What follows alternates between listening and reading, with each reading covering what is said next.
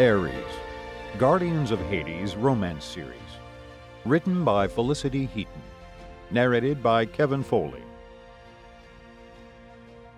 Chapter 7 The other men were gone, leaving Megan alone in the apartment with her protector. She had lost track of time during the meeting, trying to decipher what they had been discussing. It hadn't sounded good. In fact, it had sounded a lot like yesterday's storm really had been the start of Armageddon. She sat on the wine red couch still, tucked into one corner and hugging her knees. Everything she had learned in the past few hours collided in her head, mashing together into a mess. Was it ever going to sink in? She had thought that once she knew where her powers came from, she would be satisfied. As it turned out, it had only left her with more questions. Megan's gaze tracked her protector around the pale, coffee colored apartment. The overhead lights cast warmth over his tanned skin as he stalked around the rooms wearing only the white towel. It rode low on his waist, affording her a glorious view of the ridge of muscle that arced over his hips and formed a V that led her gaze to places it shouldn't go. She forced her eyes back up to the hard ropes of his stomach. A sexy thread of dark hair trailed down from the sensual dip of his navel, and it led her back down again to the start of the towel. He paused and glanced her way, and Megan's gaze darted to the oak floorboards. Very lovely. They looked like real wood. He moved on, and her eyes drifted back to him. He turned his back on her and huffed as he grabbed a stack of DVDs off the ebony coffee table and took them over to the Black Entertainment Center. Two squat, deep bookcases stood on either end of the long, low unit, enclosing the large flat screen television. CDs filled the bookcase on the left side, and perched on top of it was a small hi fi. He went to the one on the right, nearest the kitchen, and slotted the DVDs back into place on the middle shelf. Her eyes roamed down the strong line of his back to his bottom and the twin dimples above it. Every inch of this man was enticing. His muscles worked with rhythmic beauty, a wave of bunching and relaxing as he moved. He was breathtaking. Powerful, too. He had almost come to blows with his own brother. She knew she should feel there was something wrong with that, and should want nothing to do with him because of it. That was what convention demanded. He had shown violent tendencies and one heck of a short temper, even shorter than hers was, and that should have made her want to get away from him. It didn't.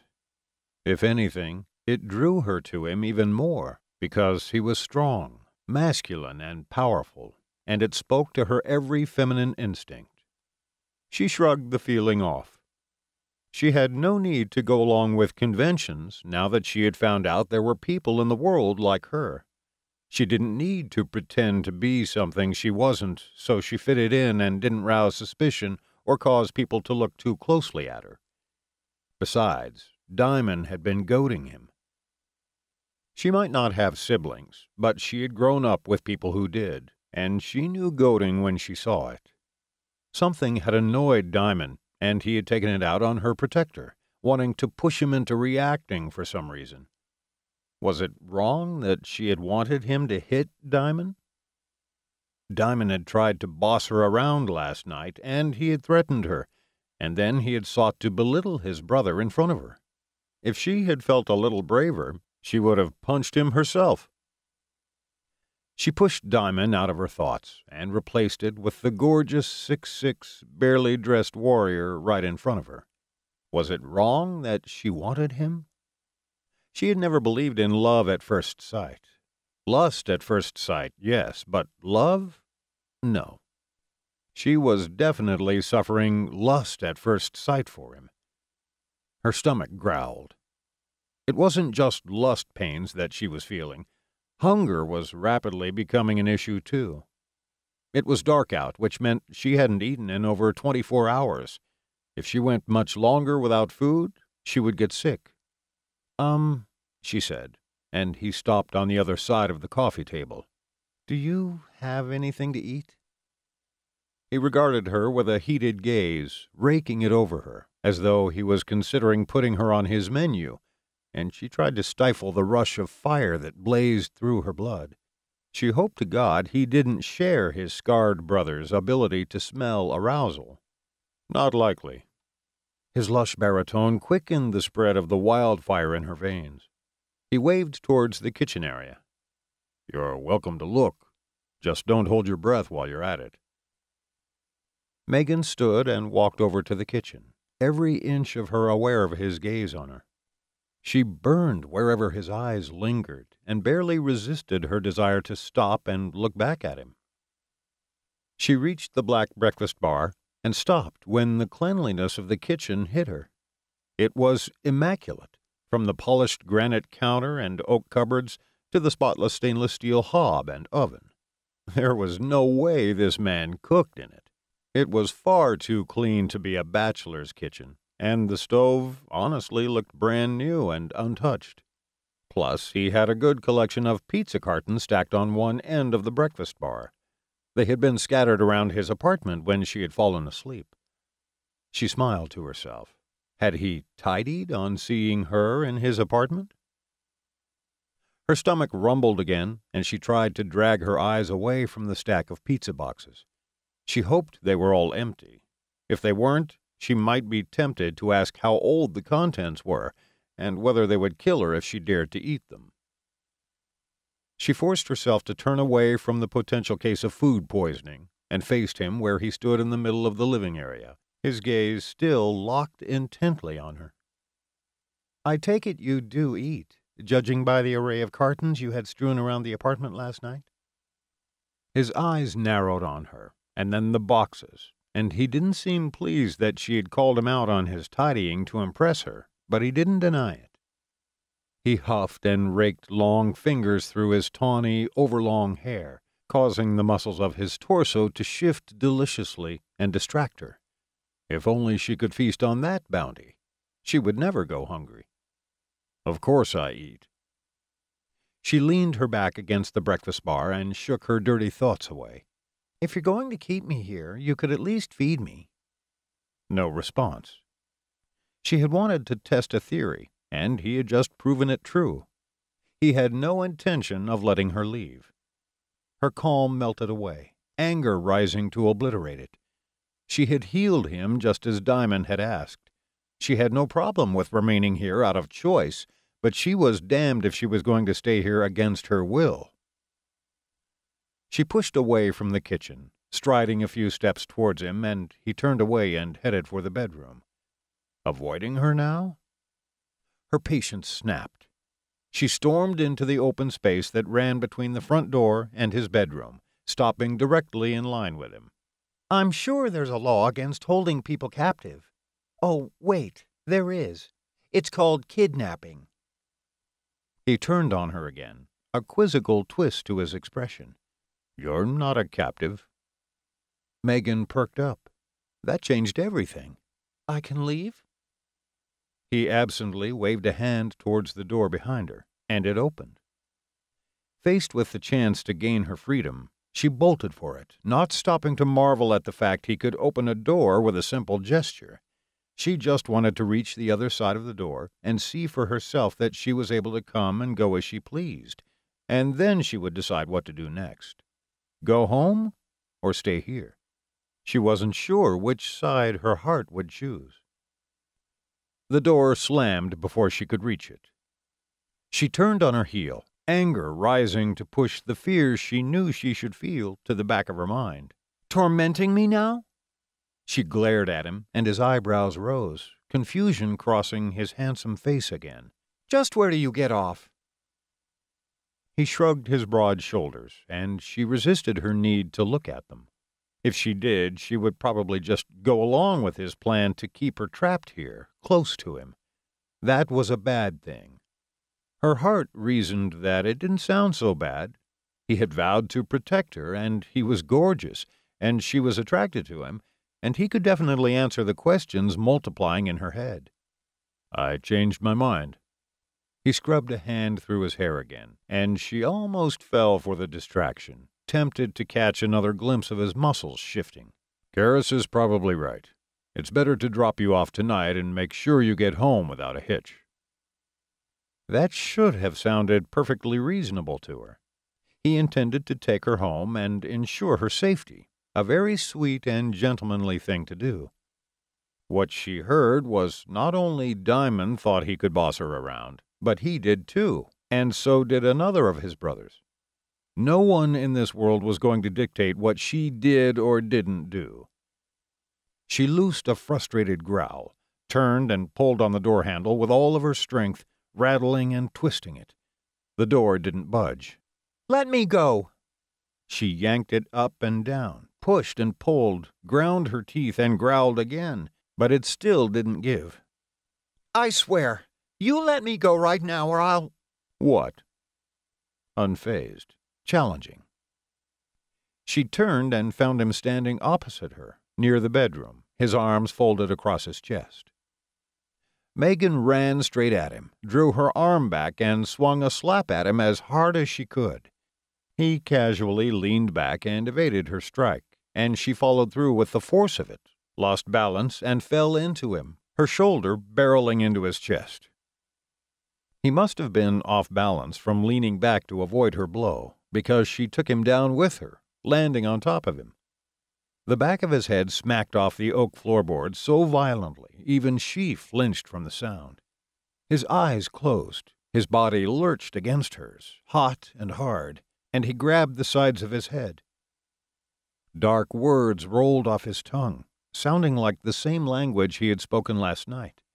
The same fierce pain speared her ears, and she covered them, trying to block out the words. A peal of thunder rocked the sky. The apartment lights flicked off and then buzzed back into life. Eyes wide, Megan stared down into his dark ones as they slowly opened. The flecks of gold and red in them glowed like embers wrapped in shadows. She lowered her hands away from her ears and pressed them against his broad, solid chest. That's some curse, she squeaked, not quite brave enough to speak at normal volume. Her hands shook and she told herself that the thunder in time with the black words that had left his mouth had just been a freaky coincidence. Not that she believed in such things, but it was the only explanation she wanted to entertain. She smiled sheepishly. Russian? He fixed her with a dark, vicious glare, grasped her shoulders, and pushed them as though intending to remove her, or toss her across the room. She pressed harder against him, not wanting to play rag doll like the image in her mind. She had no doubt that he could easily clear the length of the apartment with her if he threw her. Here, she whispered, desperate to make amends and soothe the savage edge to his expression. Let me. She pressed her fingers to his temples. They throbbed beneath her touch, and she focused on the back of his skull while lightly running her fingertips in circles over his skin. His eyes remained locked with hers, the hard edge to them softening as she carefully eased his pain. When she felt he was healed, she told herself to release him, but the heat steadily building in his striking eyes had her lingering. She swirled her fingertips around his temples, falling deeper into his eyes, becoming increasingly aware of his body beneath hers.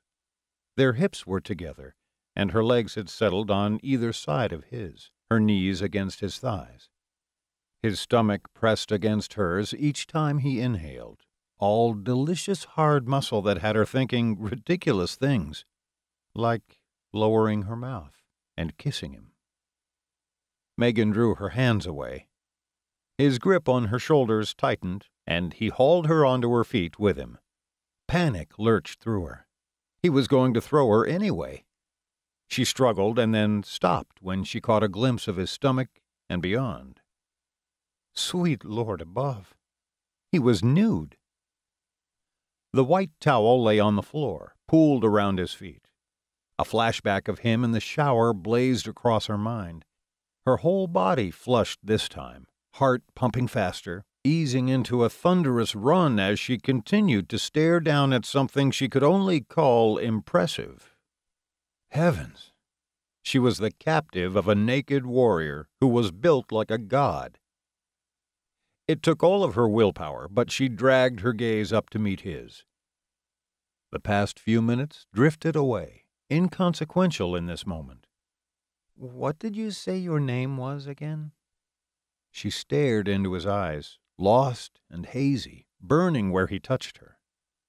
She wanted to hear him say it. She wanted to have it in her head in his bass voice whenever she looked at him. Ares, he husked, luscious and deep. Definitely a god. He could go to war on her defenses any day. She would gladly submit to his conquering. Her mouth turned horribly dry. She swallowed, but it did nothing. Her tongue poked out and swept across her lips to wet them. His gaze dropped to her mouth, and the heat in it increased. Not the wisest move to make when you had a nude male stood only inches from you.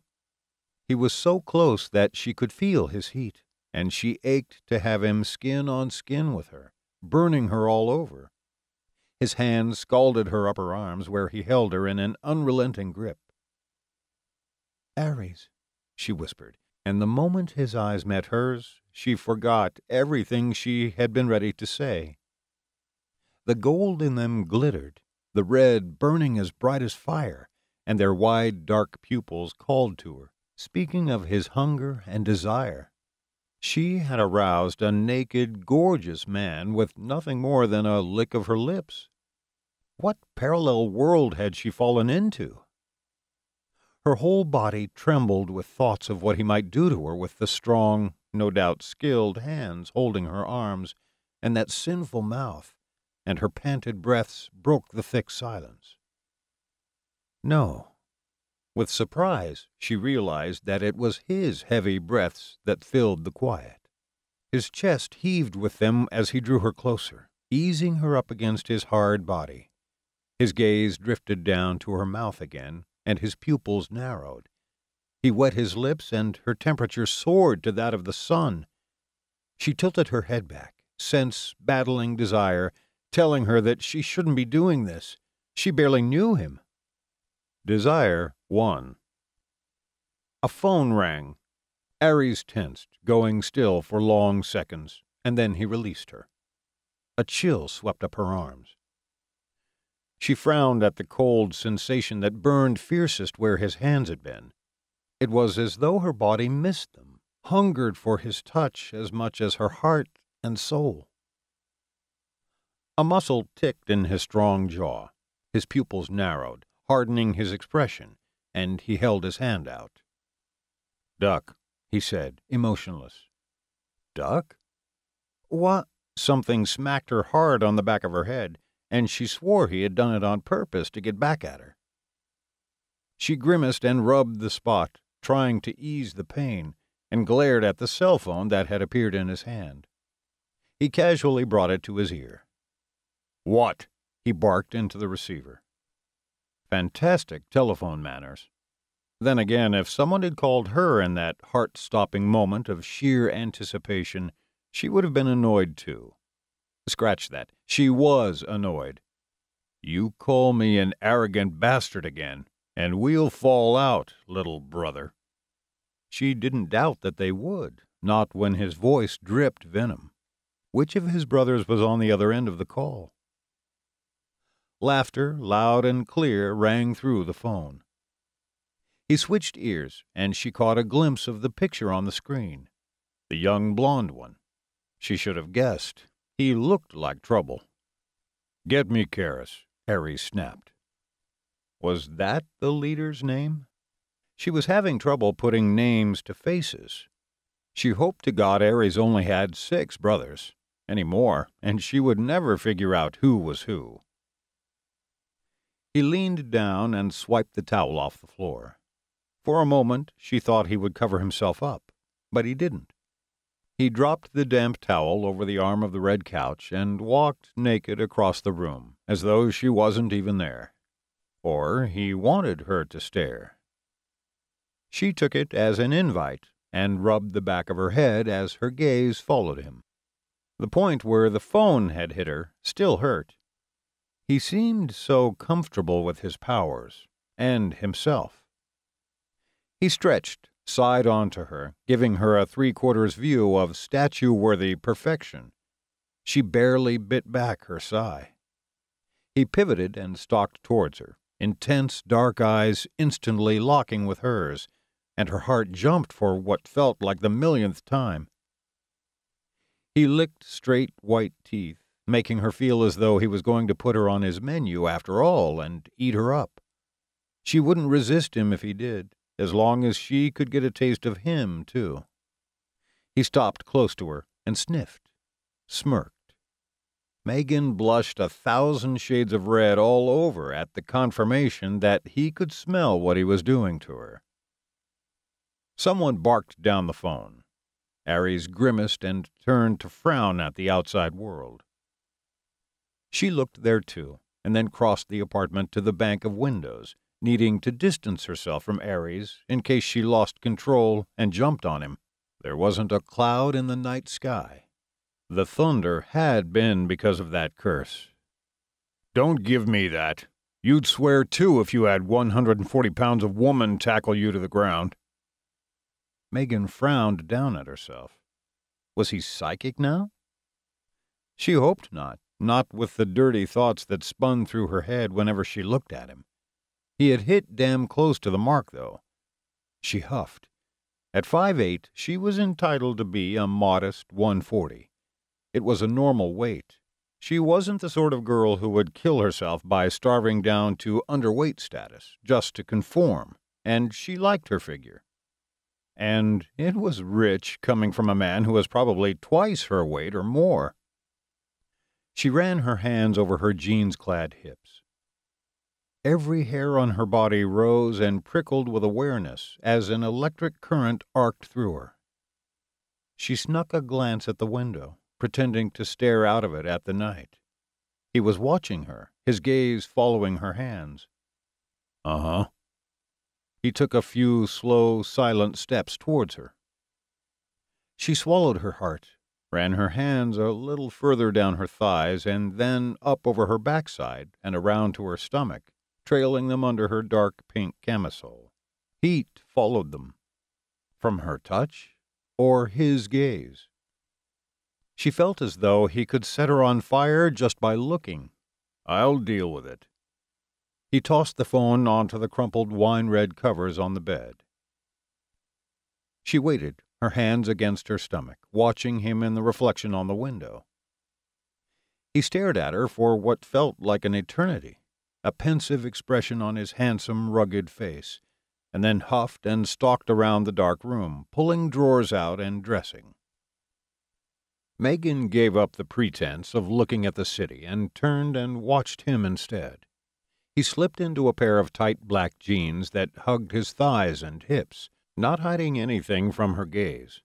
A black long sleeved t shirt came next, stretching over honed muscles like a second skin.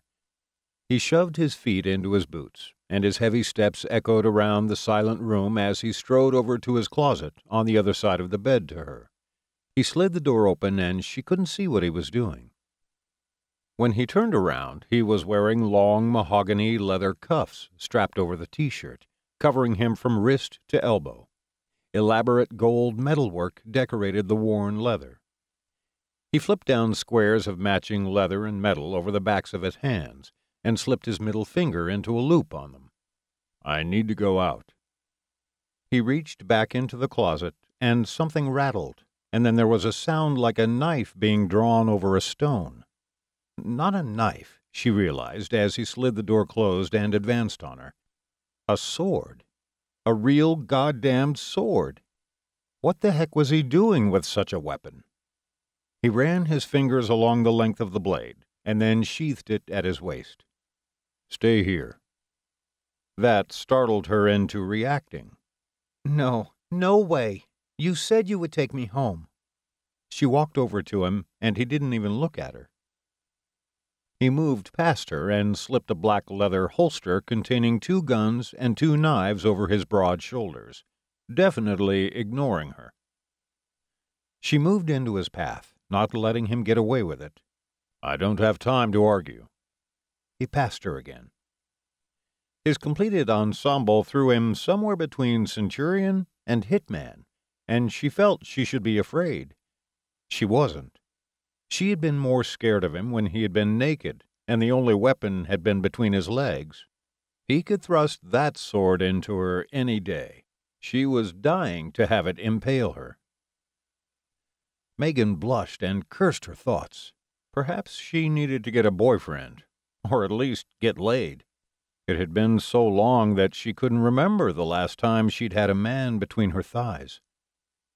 Images of Ares there, thrusting deeply into her, holding her close to him as they strained together, seeking mutual pleasure and bliss, had her blush returning. He paused and looked her over, his pupils dilating again and making her feel he probably wouldn't be averse to acting out the fantasies spinning through her mind. Take me home, she said, needing to be in control and to do something to block out the explicit scenes playing out in her head.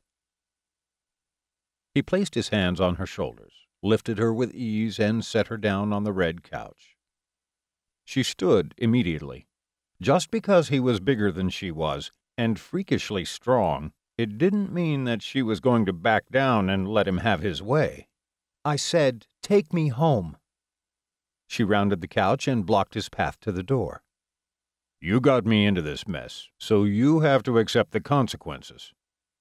He towered over her, dark and menacing, and damned sexy with his glowering warrior look. She almost crumbled. There might be food in the cupboards, or call the porter and he'll get you a pizza on me. There's a nice joint around the block. That was just evil, tempting her to do his bidding by offering her food. He was worse than Daimon. At least Daimon had the guts to threaten her outright, not bribe her. Ares's expression blackened, and his hands settled on her shoulders, fingers curling around to grasp her. Just don't think about leaving here. I will know if you cross the threshold, he said, and her gaze shot to the front door and then back to him. Believe me, you don't want to see me angry. Okay, she had been wrong. He did know how to threaten her outright, and had trumped Daimon in the process. The darkness in his eyes backed up his words, and she had seen him fight and seen how quick he was to lose his temper. She definitely didn't want to see him angry. He stepped back from her, and his hands fell from her shoulders. Wait, where are you going? He looked as though he was going to war to pay the price for that curse. He disappeared, leaving swirling black smoke behind. Megan huffed. Great. Now what was she supposed to do? She stared at the apartment door. Chapter 8 Megan took a few steps forwards, inching towards the apartment door. Ares had said that he would know if she crossed the threshold of his apartment. Would he really? Or had that just been a threat to keep her in line? Had he been using his powers to keep the door shut when she had tried to open it? There was only one way of finding out. Heart in mouth, she reached for the door handle and then eased her hand back again. She really didn't want to see him angry, not when he had geared up for some kind of war, packing guns, knives, and a sword. He had promised to take her home. He hadn't even said how long he would be out dealing with whatever business had come up, though. What did he mean by having to pay a price for his cursing? Was someone going to punish him? When his brothers had been around, the proud looking one she thought might be Keras had mentioned that he had received a scolding because Ares had spoken that strange language in the alley. Had Ares gone to receive a similar scolding? Or worse? She didn't like the thought of someone hurting him just because he had spoken some words. It seemed unfair to her. Megan turned left and padded onto the tiled area of the kitchen between the cupboards on her right and the breakfast bar. She checked the large black refrigerator. There were two bottles of mineral water on one of the shelves, and that was all. Nothing to eat there, and she didn't think water was going to ease her hunger pains. She checked each oak cupboard next, both the ones on the wall and those below the black granite counter. In the final cupboard nearest the corner and the sink, She found a box of Pop Tarts. She checked the box. Just the two years past their sell by date.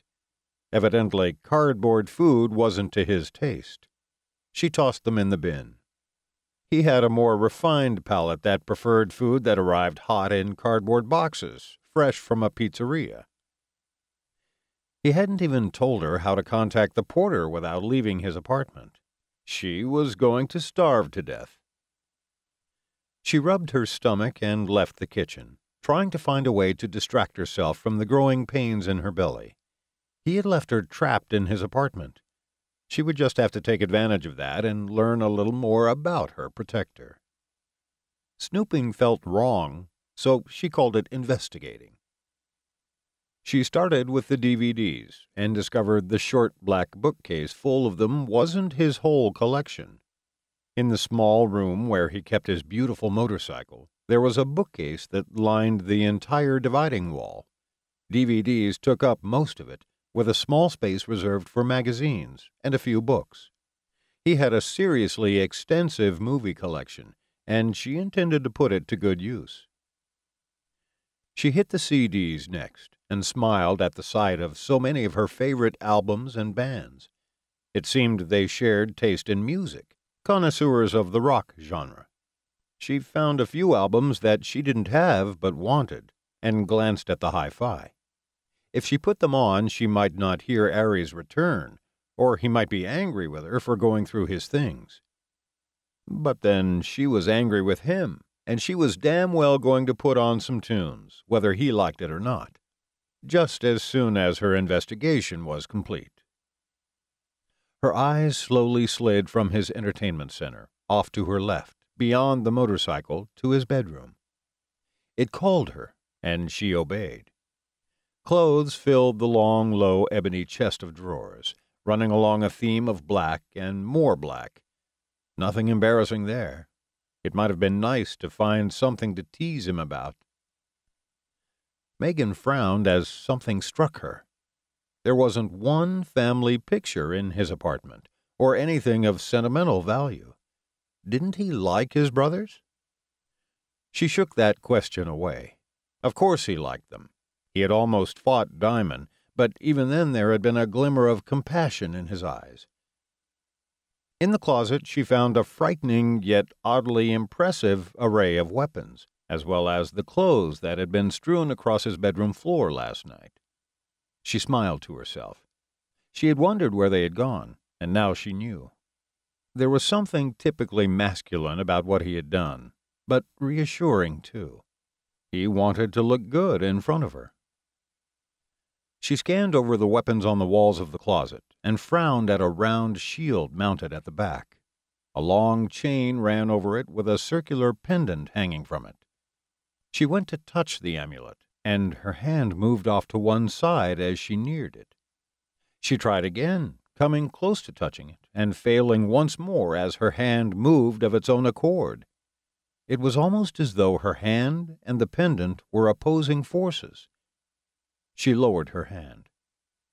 The ring of silver and the triangular piece of metal that filled one section of it didn't look like anything special.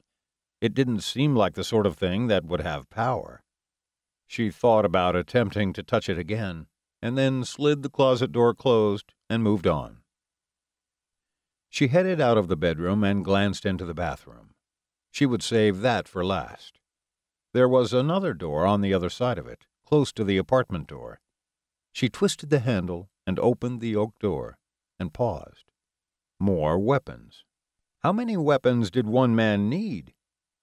He had his own personal arsenal, big enough to supply a small army. Knives of every shape and size, guns that ranged from pistols to rifles, and throwing weapons covered the walls. Megan ran her fingers over a set of small knives with rings where a hilt should have been.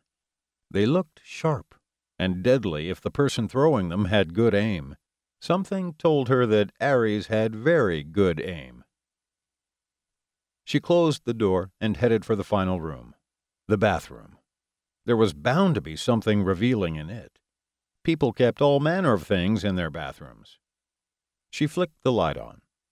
Her gaze went straight to the double width shower cubicle. Heaven, Ares had looked so good in the shower, wet all over, nude and glistening. She cleared her throat and focused on her mission investigating. The counter around the sink in the oak vanity had nothing other than toothpaste, a toothbrush, and some towels to offer. Boring. She checked the cupboard of the vanity. Shaver. Clearly, he needed to put it to use more often than once a week. Various bottles of shower gel, shampoo, and even some sunscreen. Not really interesting. She kept rifling until she had covered every inch of the shelves. The only interesting thing she noticed was a startling lack of protection. Either Ares didn't have sex often, or he did it unprotected. Not that she cared. It wasn't as though she was planning to do the horizontal tango with him. Her cheeks scalded when her mind supplied that horizontal probably wasn't in his repertoire. Dangerous men probably had adventurous sex, bathroom sex. A noise came from the other room. Megan shot to her feet, pulse racing. Ares? She rushed from the scene of her fantasy crime. He stood in the middle of the living room with the dark haired, broadly built man from earlier. She hadn't caught his name. He hadn't really spoken much, other than to tell Ares not to go killing the man who had stolen his power. Do not tell Escher about this. He's been through enough recently because of me. Sometimes I wonder if he's getting worse. Ares placed his hand on the man's shoulder, and the man returned the gesture squeezing Ares's muscular shoulder. The grim look on the man's face didn't shift, but he nodded. Ares glanced at her, and then more swirling ribbons of black smoke curled around him, writhing upwards from his feet. Wait! Megan lurched forwards, reaching for him, and hit the back of the red couch. He disappeared. Damn it! She turned on the man who had remained. He smiled warmly at her. He had to be at least five years younger than Ares, closer to his early thirties and nearer to her age, and his rich brown eyes sparkled, but with intelligence rather than desire, as Ares's did. She continued to stare at him, waiting for him to speak, and his smile slowly faded. He sighed, rubbed his wavy brown hair, and looked around the apartment. It seemed neither of them knew what to say. Megan could change that. You're one of his brothers, right? He nodded. Then go and get him back. That I cannot do. He sat down in the red armchair, his broad shoulders filling the back, and crossed his black linen clad legs. Ares only asked me to come over because he thought you might like company, and it is quiet in Seville tonight. Doesn't he trust me? She glared at him, angered by the thought that Ares had sent one of his brothers to babysit her. Company her butt. He could mask it in a sweet gesture, but she knew exactly what he was up to. He wanted to make sure she didn't leave. The man held his hand out, gesturing towards the couch. She remained standing, refusing to do as he ordered, and then a frown drew her eyebrows together. Something he had said didn't make sense. Wait, Seville, as in Spain? He smiled. You know your geography. How is that possible? You can't honestly tell me you just came all the way from Seville. It definitely wasn't possible. It couldn't be. She looked at the motorcycle and then the balcony. They had teleported her from her neighborhood to here, and during that brotherly meeting, some of them had talked about cities thousands of miles from New York. His smile held. Do you think there is a limit to how far we can step? It is a matter of mere seconds travel from here to Seville. Seconds? She wasn't sure how many thousands of miles it was to Seville, but she couldn't imagine traveling there in only a few seconds. She had traveled a fair distance via teleportation last night, and it had left her reeling. The brothers all seemed to appear and disappear without any sign of dizziness. They did it casually, as though it was something perfectly natural to them. They also had a strange vocabulary demon, hellspawn, carrier, and now step.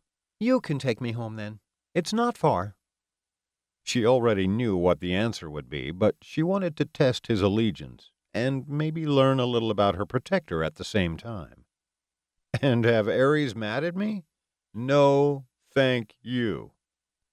He smoothed the tails of his dark charcoal linen shirt.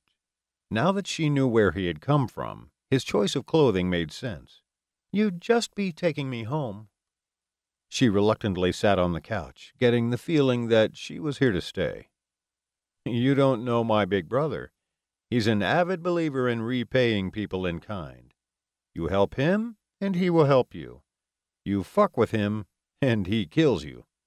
He gets mighty tetchy if anyone gets in the way, too. So you see, taking you home is not going to happen. There was a hint of apology in his eyes that she appreciated. It made her feel that he wanted to help her, but his hands were tied, and she knew why. Ares wanted to repay her. If this man took her home, would that count as fucking with Ares? She sighed, brought her feet up onto the seat of the couch, and hugged her knees. Since we're stuck with each other, what's your name? Marek. He smiled, his rough masculine features shifting with it and his deep brown eyes lighting up. So why you? He quirked a dark eyebrow. You said Ares wanted you to look after me. Why you? She ran her gaze over his impressive build. He was big, probably matching Ares in width, but falling short by a few inches in height. Had Ares asked him because he was the one most able to protect her? Did she need protecting? His eyes darkened. She was getting eerily used to how their eyes were their emotional barometer. She had said something wrong. It wasn't going to stop her. He couldn't lay a finger on her because Ares would kick his backside.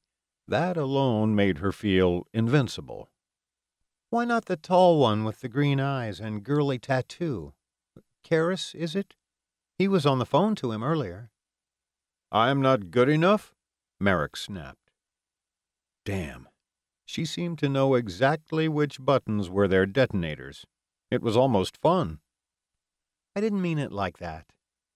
She really hadn't meant to offend him.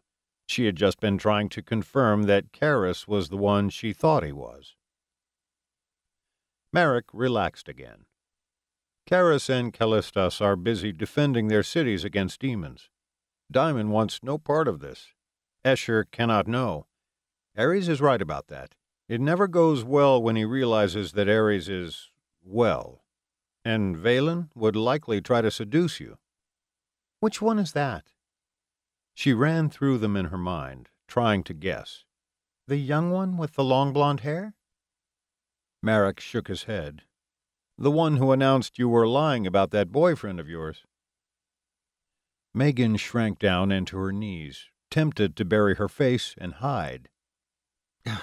Fine. I don't have a boyfriend, okay? He shrugged his shoulders. We all knew anyway. It isn't news.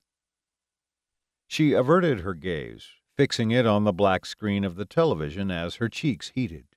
So you drew the short straw. Guard Ares' new play toy. The bitterness in her voice surprised her. She hated being thought about as something Ares was liable to screw and discard. That was never going to happen. He might be sexy as sin, and she might be attracted to him, but she wasn't made for one night stands. They only ended up leaving her feeling broken and wretched for months afterwards. Is he keeping me here until I put out? She closed her eyes and ignored the ache behind her sternum. Is that the game he's playing? Or did he invite you over to jump my bones too? A threesome, perhaps?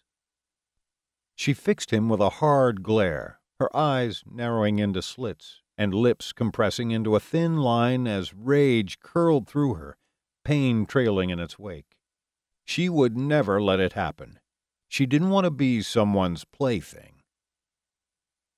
Marek leaned back, pure shock written in every line of his face. I am not touching you. She huffed. Am I that repulsive? Gods, no. But brothers by blood or not, Ares would butcher me if I laid a finger on you. That confused her even more. It made her feel dangerous things, like when Ares looked at her with desire blazing in his eyes.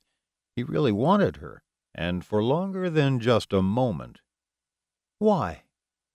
She rested her chin on her knees. It's not like I'm his. It is not my place to say, so let it go. You will have to get him to tell you himself. The hard edge to his expression backed up his words, and she decided to let it go and somehow find the courage to ask Ares about his intentions towards her. She wasn't done with Marek, though. He seemed talkative, and she wanted to get answers to some of her other questions. Fine. If you won't answer that, then answer this. Where has Ares gone? He looked wary at last, his expression losing some of its warmth and lightness. They called him away. His brothers? Couldn't be. Marek had said that they were all busy or wanted nothing to do with her, and they had just popped into his apartment the last time they had wanted to talk with Ares. He shifted his gaze to the white ceiling. They. She wasn't in the mood for cryptic answers. Her eyes widened.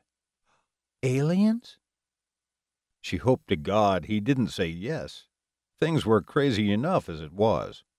He laughed, the sound rich and warm. God, no. Then I don't understand. His laughter died abruptly. It is probably best that way. Just do not go asking Ares when he gets back. Give him a little time before saying anything. He is always grouchy after paying penitence. Penitence? That was another strange word to use. Like to God? Ares cursed, and he must pay for it. Our boy never learned to hold that black tongue of his. Marek frowned at her when she leaned forward, curious now that they were on her heart's current favorite subject, Ares. Maybe I need to hold mine, too. He stood. You're leaving? She didn't want him to go. She had actually been enjoying his company and the prospect of learning more about Ares and his brothers. He shot her a warm smile that reached his eyes. Only for pizza. Pepperoni? The second she nodded, he disappeared. She was getting eerily used to how they popped in and out, too, leaving only swirling ribbons of black smoke in their wake. Before she could draw in a breath, someone else poofed into the room. The white haired one, Daimon. The man Marek had said wanted nothing to do with her and had been intent on igniting Ares's fury and instigating a fight. His coat was missing from his usual ensemble of a thick roll neck jumper, jeans, and those black gloves. Did he live somewhere chilly? His pale blue eyes scanned the apartment and then fell to her. They held her gaze, inquisitive and cold. Ares not here? he said, a frown pulling at his dark, silvery eyebrows. Megan shook her head. You know where he is? Daimon stepped closer to her, and she didn't like it. It felt as though he wanted to tower over her, as though he felt she was beneath him and should know it. He had insisted on calling her a carrier earlier, rather than her name.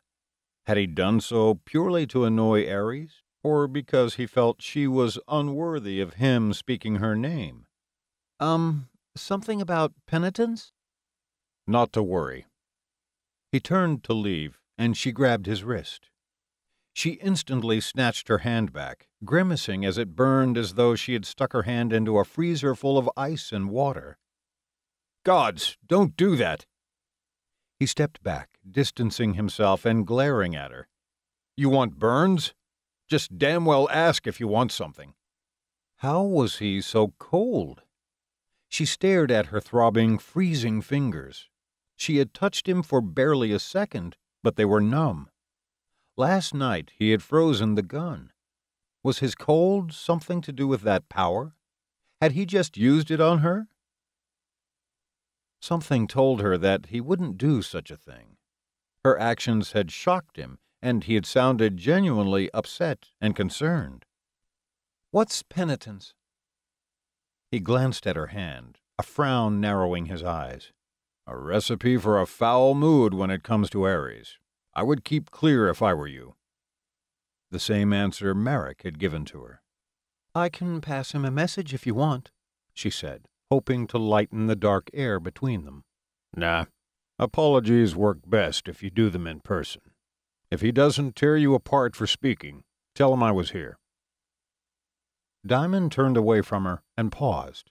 He tilted his head a fraction towards her, so his face was almost in profile, but didn't look at her. He won't let you go, you know. There's something about you, and right now he's weak without his power. I would leave if he gives you the chance. Eternity with him, without being able to touch, it would kill you both.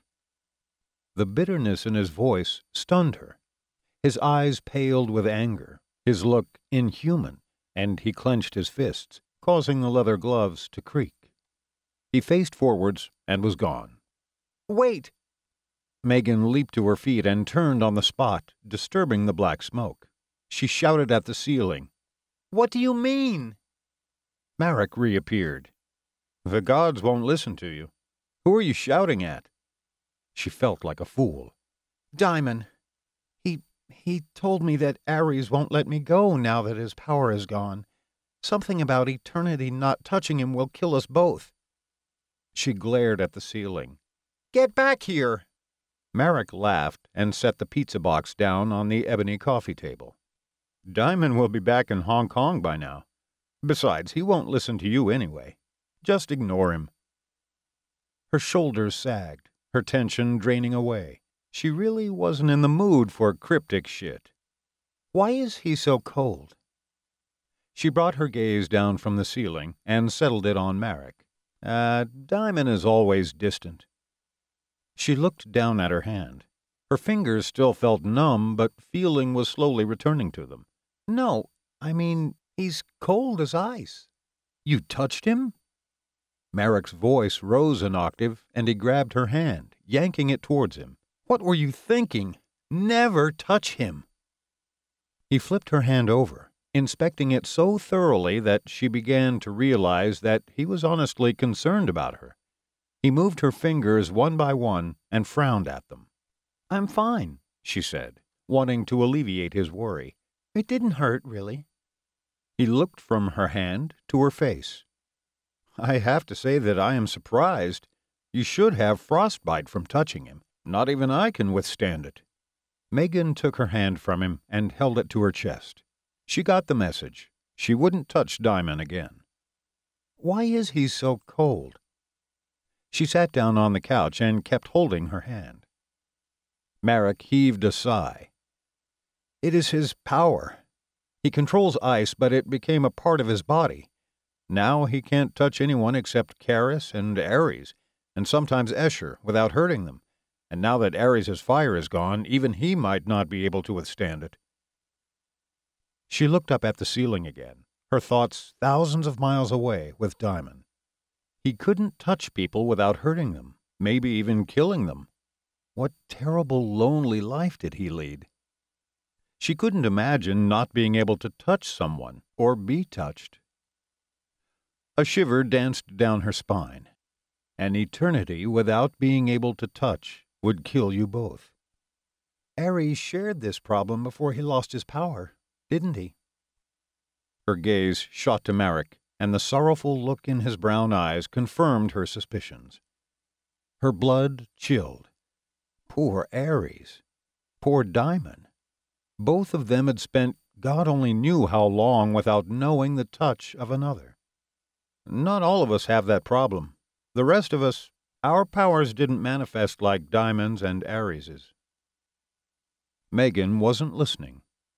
She looked around at the apartment and ran her hand over the material of the couch. She had thought it itchy before, and now she knew why. It must have something to do with Ares's fire. Flame retardant material.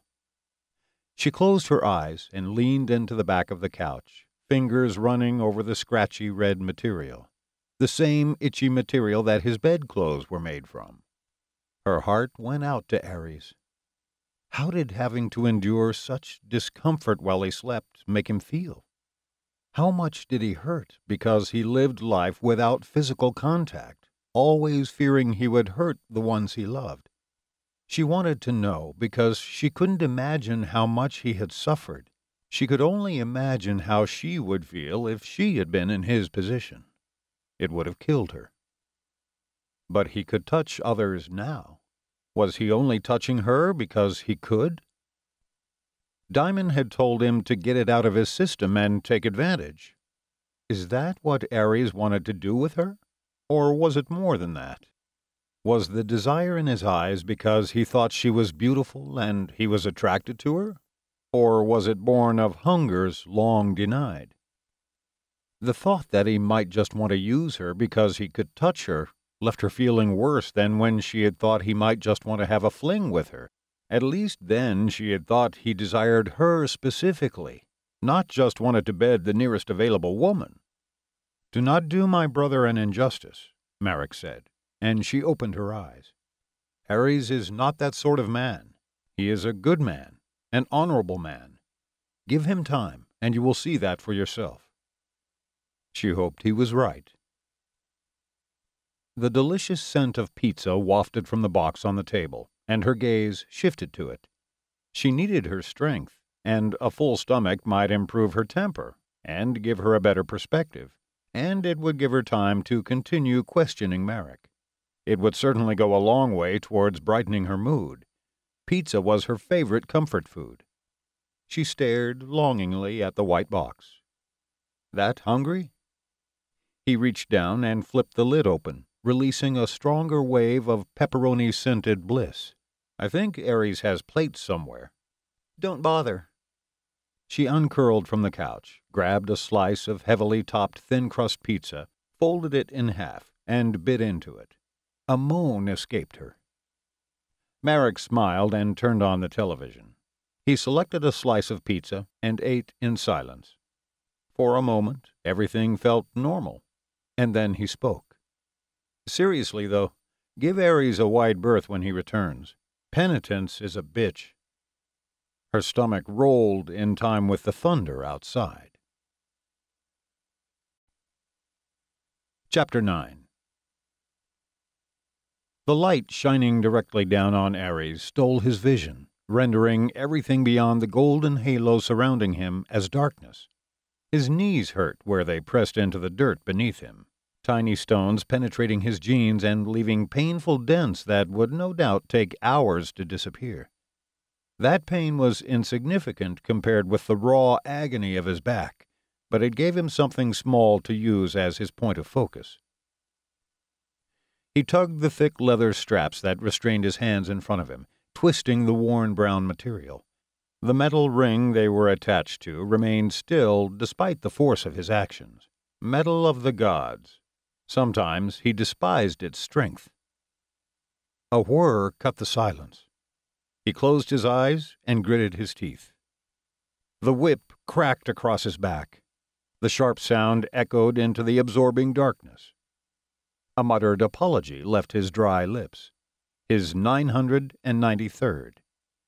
Seven to go. Ares hated this kind of penitence. The metal whip cracked again, catching him straight down his spine this time. He arched forwards and roared his apology. 994. Six more, and he could return to her. Marek had better be behaving himself. The whip whistled and slashed his back. Fresh blood crawled down his skin. These last five were going to be a bitch. The pain of each strike blinded him, and the sweat on his skin stung the lacerations. He tensed his jaw against the raw agony, bowed his head, and clenched the leather binding him trying with all his might to resist crying out with each strike of the razor sharp whip. The woman at his back laughed. 999. Ares flinched and uttered the apology. One thousand. Nemesis struck him again. Ares ground his teeth, stood on aching, stiff legs, and growled as he pulled his wrists apart. His muscles rippled as fury surged through him, restoring enough of his strength to fulfill his desire to be free. The flimsy leather snapped and fell from his wrists. He pivoted on his heel to face her. The curvy redhead raised her whip and lashed out. He caught the braided metal, softly twisted it around his arm, and yanked it towards him. She stumbled on the uneven ground, her blood red sandals sending small stones scattering in all directions. Nemesis stared cold and hard into his eyes with vicious red ones that glowed around the edges. She frowned at him and tugged on the whip, but he held firm, straightening to his full height. Her black sheer robes fluttered on a chill breeze, dancing outwards from her waist where elegant gold metalwork covered her garment like a corset and reaching towards him like tendrils of smoke. He never had liked her. She was born of the old gods, and her position had given her a smug sense of superiority. He didn't kneel before her because of who she was or any power she commanded over him. He submitted to punishment because he chose to do so. One thousand has passed. Strike me again, and I will see to it that you are the one on your knees begging me for forgiveness. Her pretty pale face and coy, sweet smile did nothing to hide the ugly monster she truly was inside. He saw through the skin she wore to the darkness beneath, and the twisted desire rising inside her a hunger to feel him bruising her skin and spilling her blood for a change. Perverse. It was the only word that fitted her. Ares released the whip, took two swift steps away from her and her sick hunger, and swallowed his pain as his anger ebbed and it rushed back in to overwhelm him. Each laceration on his back stung, burning fiercely as though all the fires of the underworld were licking at his skin and he could barely draw breath. He stepped away from the dark goddess, gathered his armor, weapons, and t shirt, and mustered his strength. The air was cool as he stepped through it, darkness swirling around him, and his strength left him when he landed heavily in his apartment. His knees gave out, and he hit the oak floor, a jolt rocking his tired body. Ares! Her voice was sweet in his ears. Exactly what he wanted, needed to hear on his return. A soothing balm that eased his pain. He sensed her rise from the couch, but she didn't come to him. Marek had probably warned her away. Ares raised his head. Marek was still there, and it was his rough, tanned hand on her slender arm that was holding her back. In response to the sight of his brother touching her, he did something that shocked him. He growled and bared his teeth, and felt the darker side of his blood awaken. Marek instantly released her. I shall take my leave. He turned to Megan. Remember what I said. With that, he disappeared. Ares glared at Megan. What did he tell you? He grasped the arm of the couch with his left hand and the coffee table with his right. It took so much effort that it left him trembling but he pushed himself onto his feet. She visibly tensed, as though restraining herself, and her round eyes grew wider, her skin paling as she looked him over. What the fuck did he tell you? She flinched away. That you were grouchy after penitence and to give you a wide berth. He laughed, mirthless and cold. Probably right. She swallowed and then moved a step towards him, beautiful concern lighting her brown eyes. He turned away, not wanting her assistance or her pity, not when it would only make him appear weak, and stumbled around the couch and towards his bedroom. The moment his knees hit the edge of the mattress, he flopped onto his front, landing hard and gently rocking up and down until the springs settled. His breath left him in a sigh, and he closed his eyes. Shuffling sounded behind him the bed depressed next to him. He cracked his eyes open. Megan sat on her knees beside him, her dark eyes wide and full of horror as they traversed his back. He should have covered up. What happened to you, Ares? The soft way she spoke his name sent warmth curling through his chest, and the concern in her eyes was genuine. It touched him deeply. She reached towards him and then withdrew her hand. A scowl marred her beautiful face, and he knew her anger wasn't directed at him. It was for the person who had done this to him. Is this penitence? Tonight it is. His throat felt like sandpaper, and swallowing didn't help. Gods, he needed to drink an ocean to quench his thirst. His gaze dropped to Megan's lips. One sip from those, and he would never be thirsty again.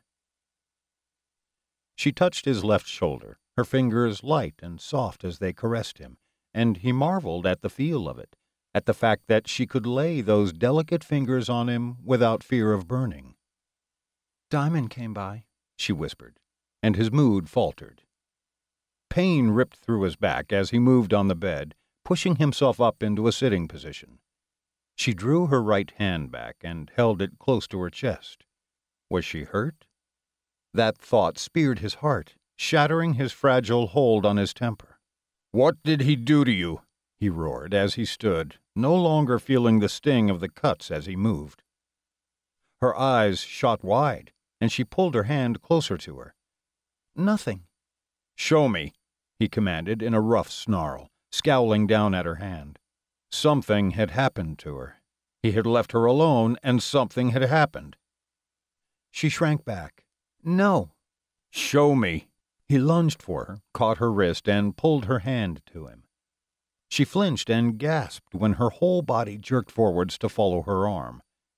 He inspected her fingers closely, studying each one for the slightest mark on her pale skin. She was right. Nothing. She was unharmed. You touched him? he said, unsure whether she had now. Megan nodded, and tears filled her eyes. To his horror, he realized that they were because of him. He was holding her too tightly, hurting her, being a royal dick again. He loosened his grip, but didn't let go of her hand. He stroked her fingers to soothe them, and then her slim wrist, still marveling over the fact that he could touch her, and that she still allowed him to after the way he had been treating her. You're lucky you still have your hand, he muttered to it. Such a slender, delicate little hand it was, too. She had tried to slug him good and proper with it earlier, though, and he had no doubt she would have left a mark had she connected. The ache in his back returned as his temper dulled again, causing it to spike right back up. He dropped her hand. Get out. Megan didn't move, not even when he jerked his chin towards the living room. I warn you, I need you out of here now. The tethers holding his rage in began to twist and snap.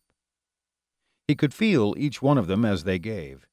Every laceration on his back, each one of the thousand, was agony that sent fire to his blood and racked his body, and not even her presence could soothe him now that the pain was stealing control over him and his mood.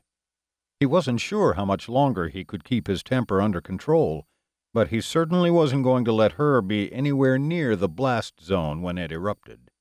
He had been a big enough dick already tonight. Leave. She calmly stepped down from the high mattress and then moved around him as though he hadn't just told her to get out and save herself. She made no sound as she stood behind him. Hot fingers dabbed against his back. He hissed in pain and fought to contain his temper for her sake. He couldn't hurt her. He wouldn't. Do you want me to heal them? she whispered, her breath a soft caress against his bloodied back that tempted him to surrender to her. Her question caught him off guard, and his instinctive answer only brought confusion, and he struggled, torn in two by it. What did she expect him to say to that? Yes, please heal them so he would be more indebted to her? That would be a declaration of weakness this was punishment that he had to endure tonight and carry into battle if that was what the Moirai had in store. This suffering was as much a part of his penitence as the lashing had been. He had to bear it until the shallow cuts healed in several hours' time. No. Ares forced the word out and stepped away from her, away from the temptation to change his answer. Megan moved around him and settled her hands on her hips, drawing his gaze to her flimsy dark pink camisole and the way her breasts jutted upwards when she did that. When she huffed, he dragged his eyes back up to meet hers. The determined edge to her expression warned that she wasn't going to accept that answer. It was my fault that someone did this to you. It's because you said that funny Russian line. Because I hurt you. Hurt? He laughed. A bang on the head is nothing. I don't hurt so easily. This is pain, and it wasn't Russian that I spoke. He turned with the intention of heading for the safety of the bathroom, but she blocked his path and pressed her palm against his chest. A jolt of white hot pleasure rippled through him. His gaze met hers again. Please, Ares, let me repay you the only way I can. It was my fault they hurt you. Let me heal you. He stared at her mouth, entranced by the sound of his name on her soft lips his mind on the more pleasurable ways that she could repay him, ones involving that mouth. He shook his head to clear it. Her eyes held a weight of hurt that hadn't been there a moment ago, and she lowered her head and turned away. He caught her arm, holding it gently, and stared at his hand. She felt so soft and supple, so very tempting. Wait. He drew in a deep breath and expelled it. This was going to be a mistake, but the sight of her eyes filling with pain, the thought that she believed he had rejected her offer and it had upset her, ripped through his defenses. Fine. But there's something you have to know first. She looked over her shoulder at him, her shoulder length brown hair masking part of her face, and her expression open and eyes full of warmth again, full of hope and something he pretended didn't exist caring. He smiled through the pain stinging his back, gunning for charming, and succeeding, judging by the way her cheeks darkened. I'm ticklish. A smile broke out on her lips, lighting her whole face and brightening her eyes. Gods, he wanted to say more things that made her smile like that, that filled her with light and made her glow with happiness. She took his hand, sending another hot shiver up his arm, and looked up into his eyes. I'll be gentle. He raised an eyebrow and followed her lead as she turned with him towards the bed, a slave to his hunger and desire, lost in the thoughts racing through his mind. She could be gentle with him all she liked. He would be a kitten for her in return. He could do that for Megan, and the fact that he could touch her wasn't the only reason he would refine his rough edges and do whatever it took to keep her close to him. He hated to admit it, but he couldn't deny it as she led him to the bed, her hand soft and warm in his. He was falling for her. Fast.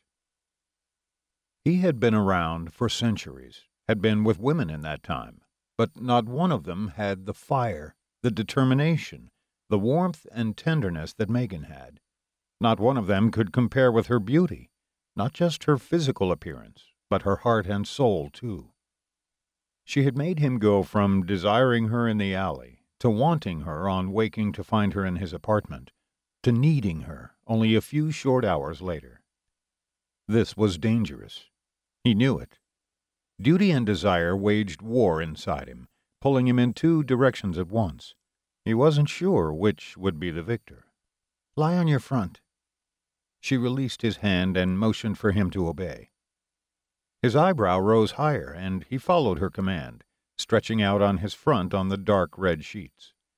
The bed depressed beside him, and the next thing he knew, she was straddling his hips and sitting on his backside.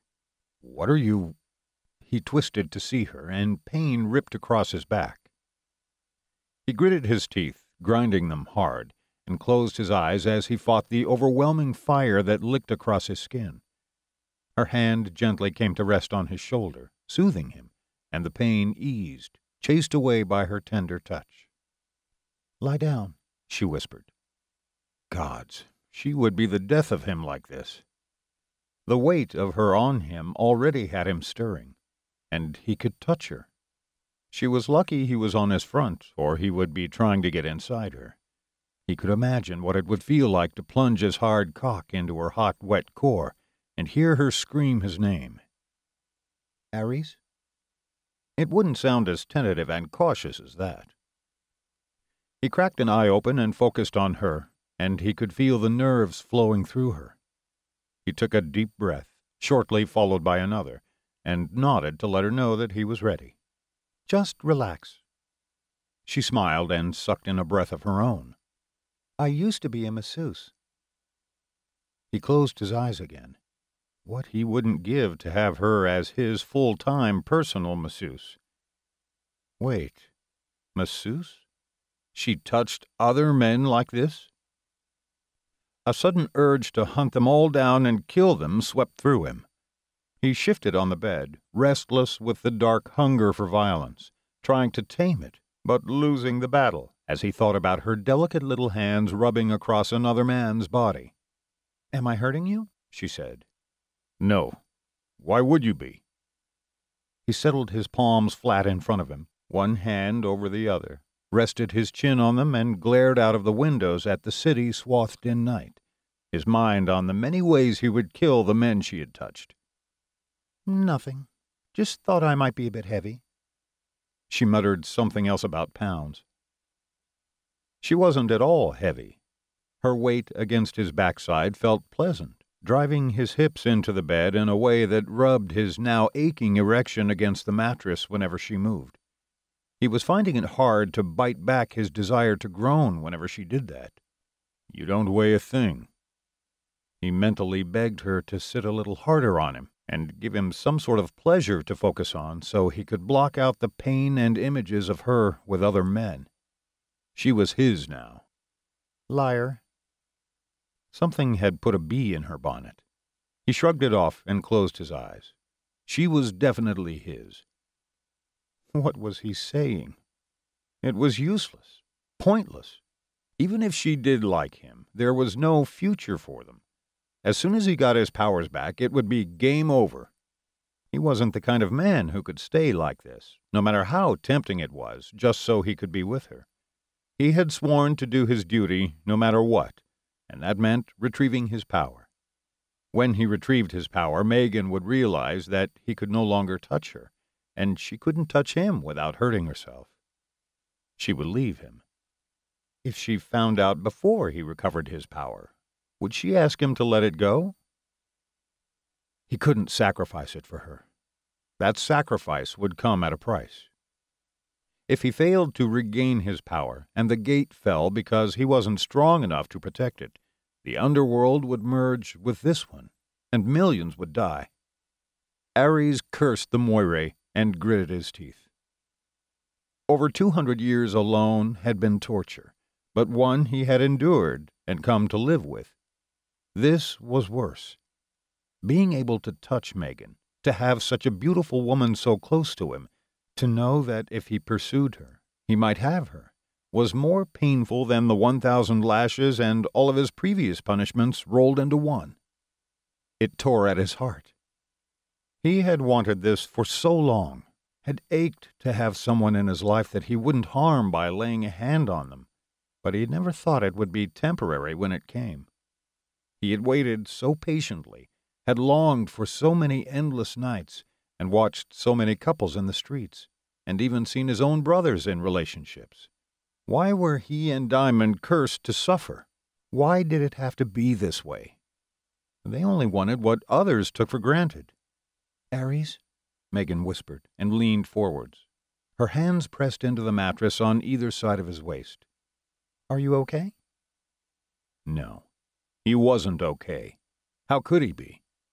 He wanted her with every drop of blood in his body, needed her with all of his heart, yearned to have her in his life, and yet it all seemed so impossible. Whatever pleasure she could bring him, whatever happiness they could find, would be snatched from them the second he regained his power. and he would be plunged back into a hell far worse than the two hundred years that had come before it. He swallowed his pain and nodded. Even if it was only temporary, even if she left him when he regained his power, he wasn't strong enough to resist her pull. He could only hold fast until she made a decision. If she came to him, if she made a move, he wouldn't be able to resist her. He would seize whatever small happiness she offered him, even if it was only temporary, even if she broke his heart. I'll try not to hurt you. There was so much more to those words than just their surface meaning. His heart interpreted them differently. He had never realized before tonight what a weak, feeble thing it was in his chest, or how much the past two centuries had hurt him. Before he could say a word, she placed her hands on his lower back. The inferno of her caress started in the arch above his buttocks and worked slowly upwards, a careful exploration that had half of him addled with lust and the other half wondering if she was enjoying touching him. Her pace seemed very deliberate, and he had caught her staring at his body countless times since waking to find her in his apartment. An overwhelmed and heavy sigh broke the silence. Her entire body heaved with it, and he could feel her sorrow as though it was a tangible thing. Was what you said really so bad? Does a little curse need such horrible punishment? Ares stilled beneath her her soft voice and the gentleness of her touch quietening his lust until he was calm and back in control. Her hands reached his shoulders, fingers dancing over his flesh, and the fire in his blood instantly reignited as they brushed the nape of his neck, sending a shiver through him. If I said what you did, would they punish me too? I mean, for speaking that funny Russian language? It's not Russian. He didn't go any further. He shouldn't have cursed around her, and it wouldn't happen again. And no, they wouldn't punish you for speaking it. So why do this to you? Her hands pressed into his shoulders. The masses of cuts covering them stung, but the pain subsided as her touch warmed him, and then began to disappear completely as he healed. It amazed him. He had never met anyone who could heal. It's different when I speak it. He left it at that, and she didn't question him as he expected. He craned his neck so he could see her out of the corner of his eye while she worked on his back. Beads of sweat spotted her forehead, concentration written in every beautiful line of her face. Do you always straddle your clients? He needed to break the silence to keep his mind off the sensual feel of her hands against his skin. His body yearned for her touch, ached to be buried deep in hers, so much so that the pain was nothing to him. It had been too long. Megan shook her head, causing the strands of her dark hair to sway. Not quite the conversation he was searching for. Is it like malpractice? I'm not a doctor. Her lips tugged into a strained smile that faded a heartbeat later. Getting there. He just needed to get her to expand. So you could straddle clients. She frowned and worked her hands lower, towards his middle back. Why would I want to do that? His eyebrows rose. You're straddling me. She blushed. He liked that color on her. To keep you still. A pant for air. And because I'm healing you. Easier this way. She swallowed and moved her hands down her eyes fixed there, but her pupils dilated and contracted as if she couldn't focus. Something wrong? He tried to get up, but she pushed him back down. She shook her head, and her hands pressed harder against his back. She was supporting her weight on them. She paled and shifted them lower. Her eyes closed. Alarm zinged through his blood. Megan? He pushed himself up onto his elbows. She swayed and then slumped onto the bed beside him. He quickly pulled her to him, cradling her gently in his right arm. Her shallow, intermittent breathing sent a cold, prickly wave crawling over him, and he patted her cheek to rouse her and then stilled with his hand against her. She was freezing. Megan? He shook her, and his heart lodged in his throat. It didn't come down even when her eyes fluttered open. Are you all right? He searched her eyes, and they focused on him. He tilted her towards the light, studying them. Her pupils contracted and then dilated again when he tipped her back towards the darkness. A normal response. Her skin was warming beneath his hands, too. She inhaled and dazedly looked at his hands where they touched her, and then the bed. Did I finish? Cuts still stung his lower back, but he didn't have the heart to tell her, not when healing him had clearly taken so much out of her, enough that she had looked close to death. He pulled her nearer to him until her breath skated across his bare chest, unable to tamp down the need to feel her in his arms, safe and sound. If he had known that healing him would drain her, he never would have agreed to it. She had risked her life to heal a few stupid cuts that would have closed in a handful of hours. I'm fine now, he whispered, and brushed the damp strands of hair from her forehead. Are you? She gave him the thumbs up. Peachy. She didn't look peachy. He wasn't sure how carriers used their powers or the effects it had on them. Was it always like this for her, or was it because she was trying to heal a god? I'm feeling a little tired. She yawned so wide he could see her lack of tonsils. Can you take me home now? Ares shook his head and told himself that he couldn't because paying penitence had taken most of his strength and he needed to conserve the rest in case something happened in the last few hours of darkness. It had nothing to do with the fact he didn't want to take her home. Tomorrow? she whispered, fading fast in his arms, and gods it felt good to have her pressed against him, falling asleep in his embrace. Too good. He wanted to stay right where he was and hold her while she slept, watching over her, but she would get cold even with his body pressed against hers.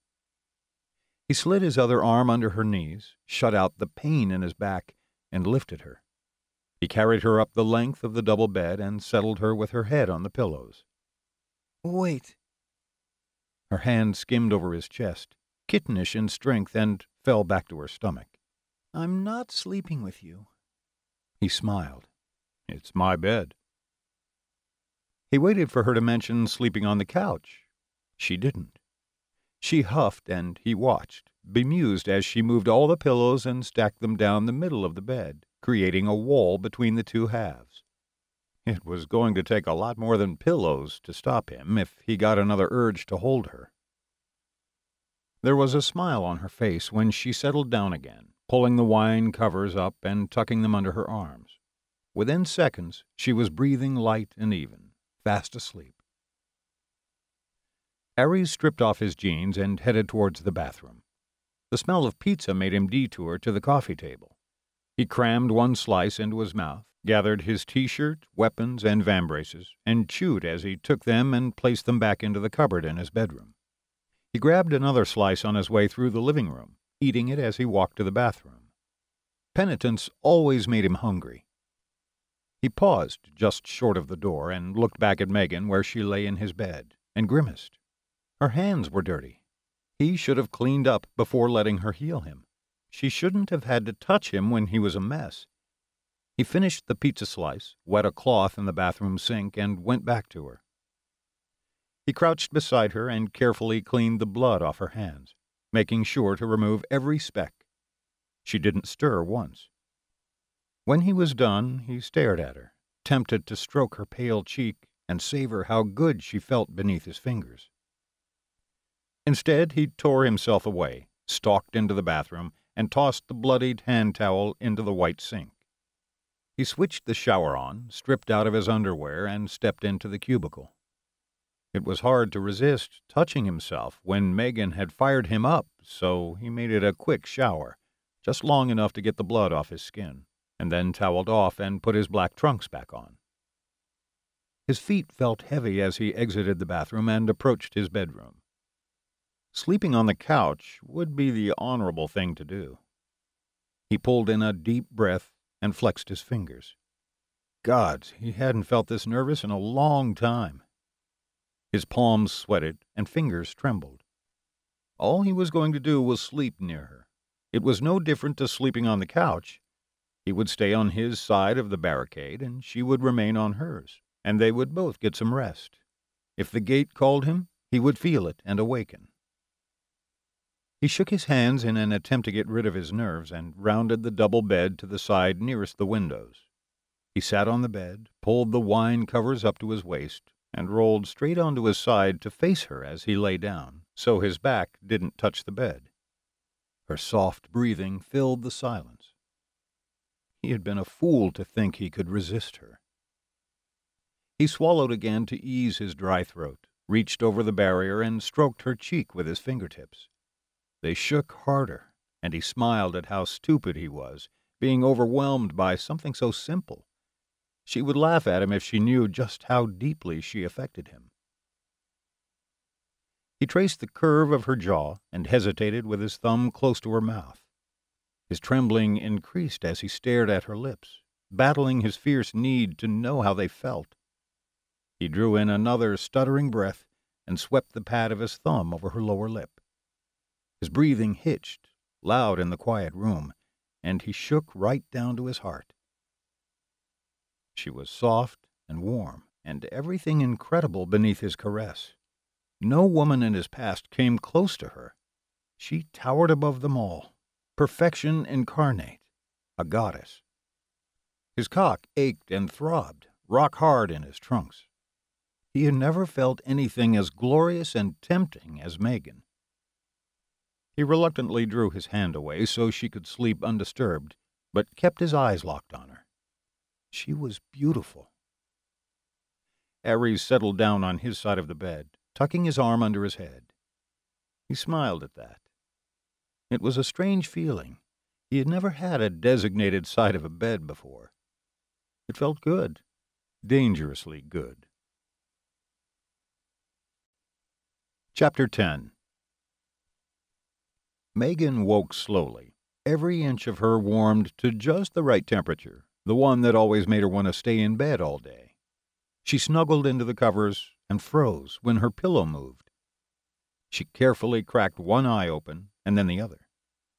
A broad swath of bronzed skin stretched taut over defined muscles, evening sunlight playing across it.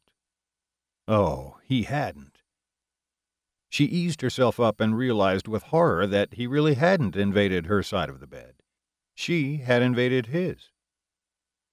Unwilling to be caught and have him tease her about the fact that she had been the one to break the rules she had set down, she slowly inched away from him. He foiled her escape by rolling onto his side, tossing his arm around her waist, and pulling her towards him until her back was flush against his chest. Her body got the wrong idea as he curled up behind her, holding her close to him so the entire length of his hard body pressed against hers. His hand settled against her stomach, and he tried to pull her closer, his breath warm as he murmured into her ear, You're more than welcome to share my heat. I'm sorry. She couldn't manage to get her voice above a breathless whisper. She placed her hand over his, curled her fingers around, and tried to pull it away from her bare stomach. When the heck had he burrowed it under her camisole? He resisted her, his arm tightening and fingers digging in. She cursed his strength and gave up. He made a low, contented noise in his throat. Stay a while, he mumbled sleepily into her ear. I just need to feel this a while. What Daimon and Marek had told her came back to her, instantly clearing the haze of sleep from her mind. Ares wasn't going to let her go. She could see that now. The question was, did she want him to? She shoved that question away, unwilling to consider the answer to it right now. She didn't know anything about him other than he kept protecting her and the small tidbits of information Marek had given her. Just because being around him felt incredibly good, it didn't mean that it was right, or that things weren't going to turn out just as she feared they would, with him wanting her purely because she was a female within reach. She tried to prise his hand off her stomach again, unable to think clearly while he was touching her, but he tightened his hold and she didn't have the energy to fight him. It quickly dissipated, leaving her feeling weak and in need of another day of sleep. She felt better than she had on waking yesterday, but things had taken a frightening turn when healing the wounds he'd had from paying penitence. She had never experienced such a drain before. It had felt as though she had put her own life in danger by healing his body. She had healed some major injuries before, far worse than what had littered his back, and it hadn't drained her so badly. Was it because he was like her? It felt as though it was more than that. He was more than that. He wasn't just gifted like she was. He was something else. What, she didn't know. And she couldn't deny that it felt good, ridiculously good, to be held in his strong arms, and that she had felt a little pleased by his refusal to release her. What was she getting herself into? Neon signs flashed warnings of heartbreak ahead, but she failed to heed them. Whenever she convinced herself to keep her distance and save herself, to end everything before it had a chance to begin, he would do something that would tear her defenses back down again and leave her aching to be close to him. She closed her eyes and swore she would just steal this moment. She needed something to keep her going through the next few years alone. It felt so good to be held again, to be with someone who made her feel normal, who made her feel that she could be herself without having to be careful or fear they would think she was a freak. It was such a relief. Was the desire she felt for Ares, her need to remain around him, in part a response to that? Or was she truly attracted to him, not just attracted to the thought that she could be herself without fear? Was she using him that would take the cake. She had worried for hours that he was out to use her, and she might be doing the same to him. She groaned. You feeling okay? he said, his voice still gravelly with sleep. No, she wasn't. Peachy. He huffed against the back of her head. You said that last night, and you looked close to passing out at the time. You don't have to lie to me. She knew that. She wriggled closer to him, and her eyes shot wide. That was definitely a hard on he had just pressed against her bottom. Sure, she had been alone a long time, and she was wearing jeans, but the feel of it was unmistakable and arousing. She shimmied forwards and turned on him with a frown. He lifted his shoulders, the motion nonchalant. What? Even gods get morning wood sometimes and waking up next to a beautiful woman makes it a dead cert. Her eyes widened further. She spluttered, You're. you're a god? And it's evening. He smiled, his dark eyes lighting up with amusement, rolled onto his back, and stretched, the action pulling the sheet down to give her a glorious view of his torso and the tempting ridge of muscle that hugged his hip. I've been nocturnal for a very long time. His smile widened into a grin. The sheet fell lower, revealing his black underwear. She shot up and stared towards the kitchen, her cheeks scalding hot. I need some water. It sounded like a reasonable excuse to leap from the bed and his arms, and she was parched.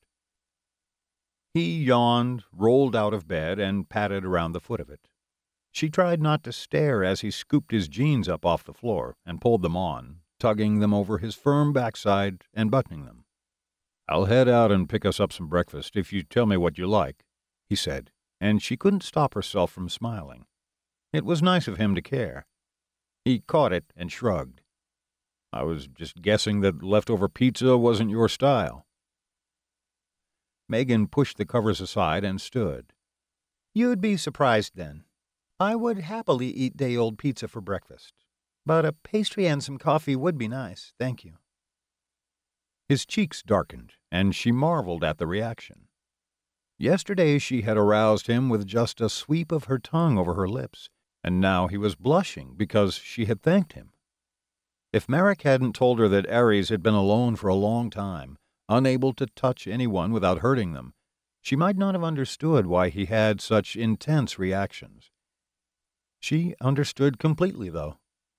He had been starved of physical contact, trapped within his own body.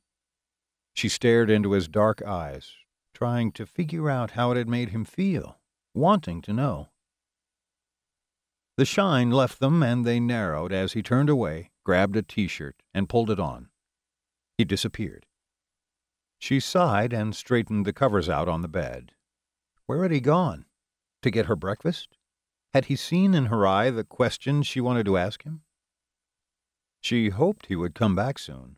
If he did, she would hold her tongue and wouldn't probe into the pain he held in his heart. Or at least she would try to hold it. She wandered through his apartment, snagging her black jumper on the way past the couch and pulling it on over her head. She eyed the pizza on the table as she smoothed her jumper down over her jeans, and then kept going, rounding the armchair and heading towards his motorcycle. It was beautiful, a classic. She had seen one like it before, and Ares had kept his in perfect condition. She traced her fingers over the flames on the black fuel tank of the Harley Wide Glide, the sight of it transporting her back to her childhood and better times. There were faint scorch marks in places on the tank and the black leather seat. She smiled at them. Clearly, his bike wasn't flame retardant. She ran her hands up, settled them around the grips, and bit her lip. It was beyond tempting. She glanced around her to make sure he hadn't silently appeared in the apartment and then back at the bike. If she sat on it and he caught her, would he be mad? It wasn't as though she was going to start it up or even move it. She just wanted to sit on it. He reappeared with a brown bag. She gasped and jerked away from his motorcycle. His right eyebrow rose, and he offered the paper bag to her, nodding towards his ride at the same time. You like it? She took the bag from him and removed the cup of coffee. There were a lot of pastries. She looked at him. I really hope you don't think I eat this much. He smiled, shook his head, and swiped the bag from her hand. He dug into it, pulled out a croissant, and crammed it into his mouth. He seemed in a much better mood now than when he had left, and she liked it and the way he had been looking at her today. She didn't want to ruin it. Your ride is beautiful, she said, and sipped her coffee, a sudden thought hitting her. Had he called her beautiful earlier? She stifled the blush that wanted to rise onto her cheeks and focused on the bike. My father had one just like it. I'm sorry. His gruff tone made her look over her shoulder at him. Why? She took another sip. They died a long time ago, and I was very young. My grandparents took me in and raised me. He offered her a croissant, and she took it. No brothers and sisters? She shook her head. I sort of envy you for that. I always wanted a brother. They're not that fantastic. He smiled again and waved half a pastry around. You can have them if you want. She smiled. No, thank you. Keep them. They seem like a handful. He shrugged and walked around her, leaned his bottom against the seat of his motorcycle, and stroked the fuel tank, a softness to his dark eyes that told her how much it meant to him. I always wanted a motorcycle. I wanted to be like my dad. She set her coffee down on the bookcase behind her and walked her fingers over the bike's handlebars. My grandma didn't like the idea. She always said I was a wild spirit anyway, like my father, and that she didn't want me getting into trouble. It didn't stop me from getting into scrapes. I used to hike in the mountains on weekends and get lost. My grandpa had to come searching for me so many times he lost count. One time a bear came at me and I had to shoot him with my rifle. You handled my gun pretty well. He ate the rest of his pastry and dusted the crumbs off his hands. Megan shrugged and fixed her gaze on his right hand where it rested on the fuel tank. Strong, large, beautiful. Hands made for holding, possessively, protectively. She heated at just the memory of being in his arms of feeling those powerful hands on her shoulders, against her back, holding her tucked close to him as he protected her from his brothers. His enemy, the world. I've never shot a handgun before, she murmured, lost in her memories, in the delicious replay of just how good his hands had felt on her. I used to go shooting all the time with my grandpa, though, back when I was in Canada. Thoughts about everything she had left behind all those years ago overshadowed her more recent memories, and her chest ached in response. She patted the fuel tank and met his gaze, and she didn't like the look in his eyes. If she didn't say something to distract him, he was going to keep pressing about her life, and she couldn't bear thinking about it right now. How long have you had it? She stroked the tank, and her fingers brushed his. A bolt of electricity raced up her arm, and she tensed. His fingers flexed against the fuel tank. Had he felt that? I've had it since the first model rolled off the line. He drummed his fingers on the tank as casual as anything, but his eyes betrayed him, revealing that brief touch had affected him, too. She's a beauty. It was love at first sight, and I knew I had to have her. My brothers called me crazy, meddling with mortal vehicles. He laughed, and the warmth of it sent another pleasant shiver through her. It's a 1980 model, isn't it? She said, and he nodded. I didn't think you would have been more than a few years old back then. It wasn't your father's? He chuckled again. No, father doesn't approve of them, but I am flattered that you think I'm a kid.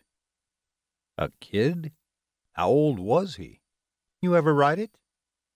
She stared at him while he ran a loving gaze over his Harley. He couldn't be a day over thirty-eight, could he? Sometimes. I haven't taken her out in a long time. My power has been slowly taking more control.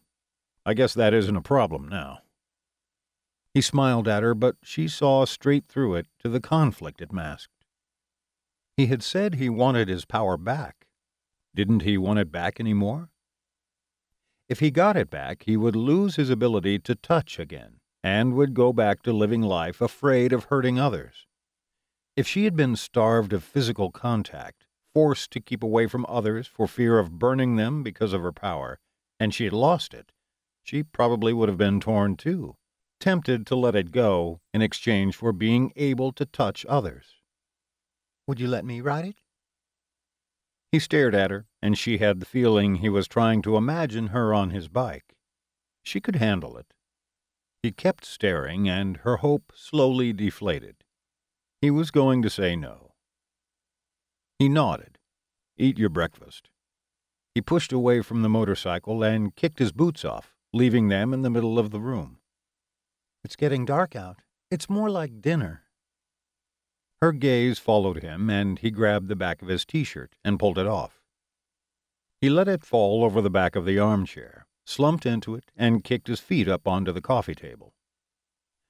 She grabbed her drink and turned to take the long route to the couch, but her gaze caught on his left arm and the tattoo that curved over his deltoid and part of his biceps. She set her drink and the bag down on the coffee table, but didn't take her eyes away from the elaborate array of swirls and spikes a shade or two darker than his skin. She reached out without thinking and ran her fingertips over it, tracing the almost shield like design. Ares shivered beneath her touch, and she smiled inside, loving how fiercely he reacted whenever she made contact with him. The ink was raised, pronounced on his skin. Incredible. He looked down at it and her hand. It's where Ares touched me when I was a baby. You're not the real god of war, then? She waited for him to laugh and say the god thing had just been a joke, and he wasn't serious this time either but he just shook his head. She swallowed. Is he your father? The building shook, and she gasped. Earthquake! She grabbed the back of the armchair with her right hand and his shoulder with her left. He shook his head again. My father hates it when someone asks me that. Ares likes my mother. His father had done that? What sort of man had the power to shake the world with his anger? It had been incredible enough when she had thought Ares was like her, just a man with gifts, but now she was beginning to believe that he wasn't lying. He was a god. Your mother? And who the heck was she? Things were taking a severe turn towards the weird since she had woken up in the arms of a god this evening, and all she could do was let it sweep her along until she reached the end of the rapids and calm water again. Or a waterfall. Persephone. Father would kill Ares for stepping within 500 meters of her. She blinked. My knowledge of Greek gods is a little rusty. I need to get something straight. You're saying your father is Hades, as in the god of hell? The one who forced Persephone. Mother loves my father. His expression blackened, and he shirked her touch, fixing her with a dark glare. Another raw nerve. Megan decided to leave that one alone in case he ended up feeling a desire to hurl her across the room again. My mistake. You're not the real Ares, because that would be ridiculous. You're the son of Hades and Persephone. His smile returned. I can see why it might be hard for you to believe this. It's true. I'm named for him, though he saw me only once to bestow his favor upon me. Father forbids him to enter the underworld. She could understand why. It wouldn't do to have someone as strong as the real Ares, god of war, hitting on your wife, even if you were Hades. This was a lot to take in. I really thought you were Hellspawn although she still wasn't sure what the heck they were either. He laughed. No, just a regular god. She rounded the coffee table and flopped down on the end of the couch nearest to him before her legs gave out, and stared at her paper cup on the ebony surface near his feet. The thought that he was a god swirled around her mind but wouldn't sink in. She blinked and shifted her gaze to him stared at him to convince herself that this was real. He was a god, a real life god, a son of Hades, the ruler of the underworld. It still refused to sink in. If he was a god, surely she would have read about him. Someone would have documented that there were two gods named Ares.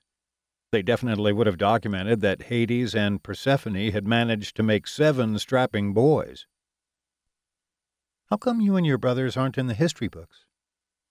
He tunneled his fingers through his overlong, tawny hair, preening it back out of his face. They stopped writing them. Simple as that. She raked her gaze over him, lingering longest on his face. He still didn't look a day over thirty-eight. You and your brothers all look different ages. The one with the long blonde hair is much younger. Calistos, is it? And the one with the black hair? Keras, he looks like he's maybe a couple of years older or the same age as you. Keras? The same age as me? Both of his eyebrows shot up and his dark eyes sparkled with amusement. It might look like that to mortal eyes, but it certainly isn't the case. She had feared as much. People painted pictures of the gods all the time, and they didn't look centuries old. She peered closer. How old are you? A smile tugged at one corner of his sensual mouth. Younger than the history books. That wasn't very giving. The edge of discomfort in his eyes made her feel that he didn't want to tell her. Or was it the fact that they had missed the history books? She eyed him, trying to think of him as the son of a god rather than a man. He was strong. Did strength come with age? Two hundred. It sounded like a reasonable age for him. He snorted contemptuously. Insulting me now? I've been stuck in the mortal world for longer than that. He had? He had spent over two centuries unable to touch anyone? It was a miracle the man was sane. The thought of going without touching someone for a few decades had left her feeling cold inside. But living like that for centuries? She wanted to get up, sit on his lap, wrap her arms around him, and hold him. He wouldn't like it, though. There was something she had learned about Ares from her time with him. He hated anything that made him feel weak, and her pitying him would do just that. Every muscle in his body rippled as he stood and straightened to his full height, and she focused on their conversation again. Okay, so he was older than two hundred. She stared up at him, calculating and considering. He walked between the couch and the coffee table, heading for the kitchen. She frowned. The horrible red lines from last night were gone from his back, but the silvery scars she had seen when she had healed the burns on his back the night they had met were still there. The haphazard array of thin streaks littered his skin, cutting over muscles in unfaltering lines.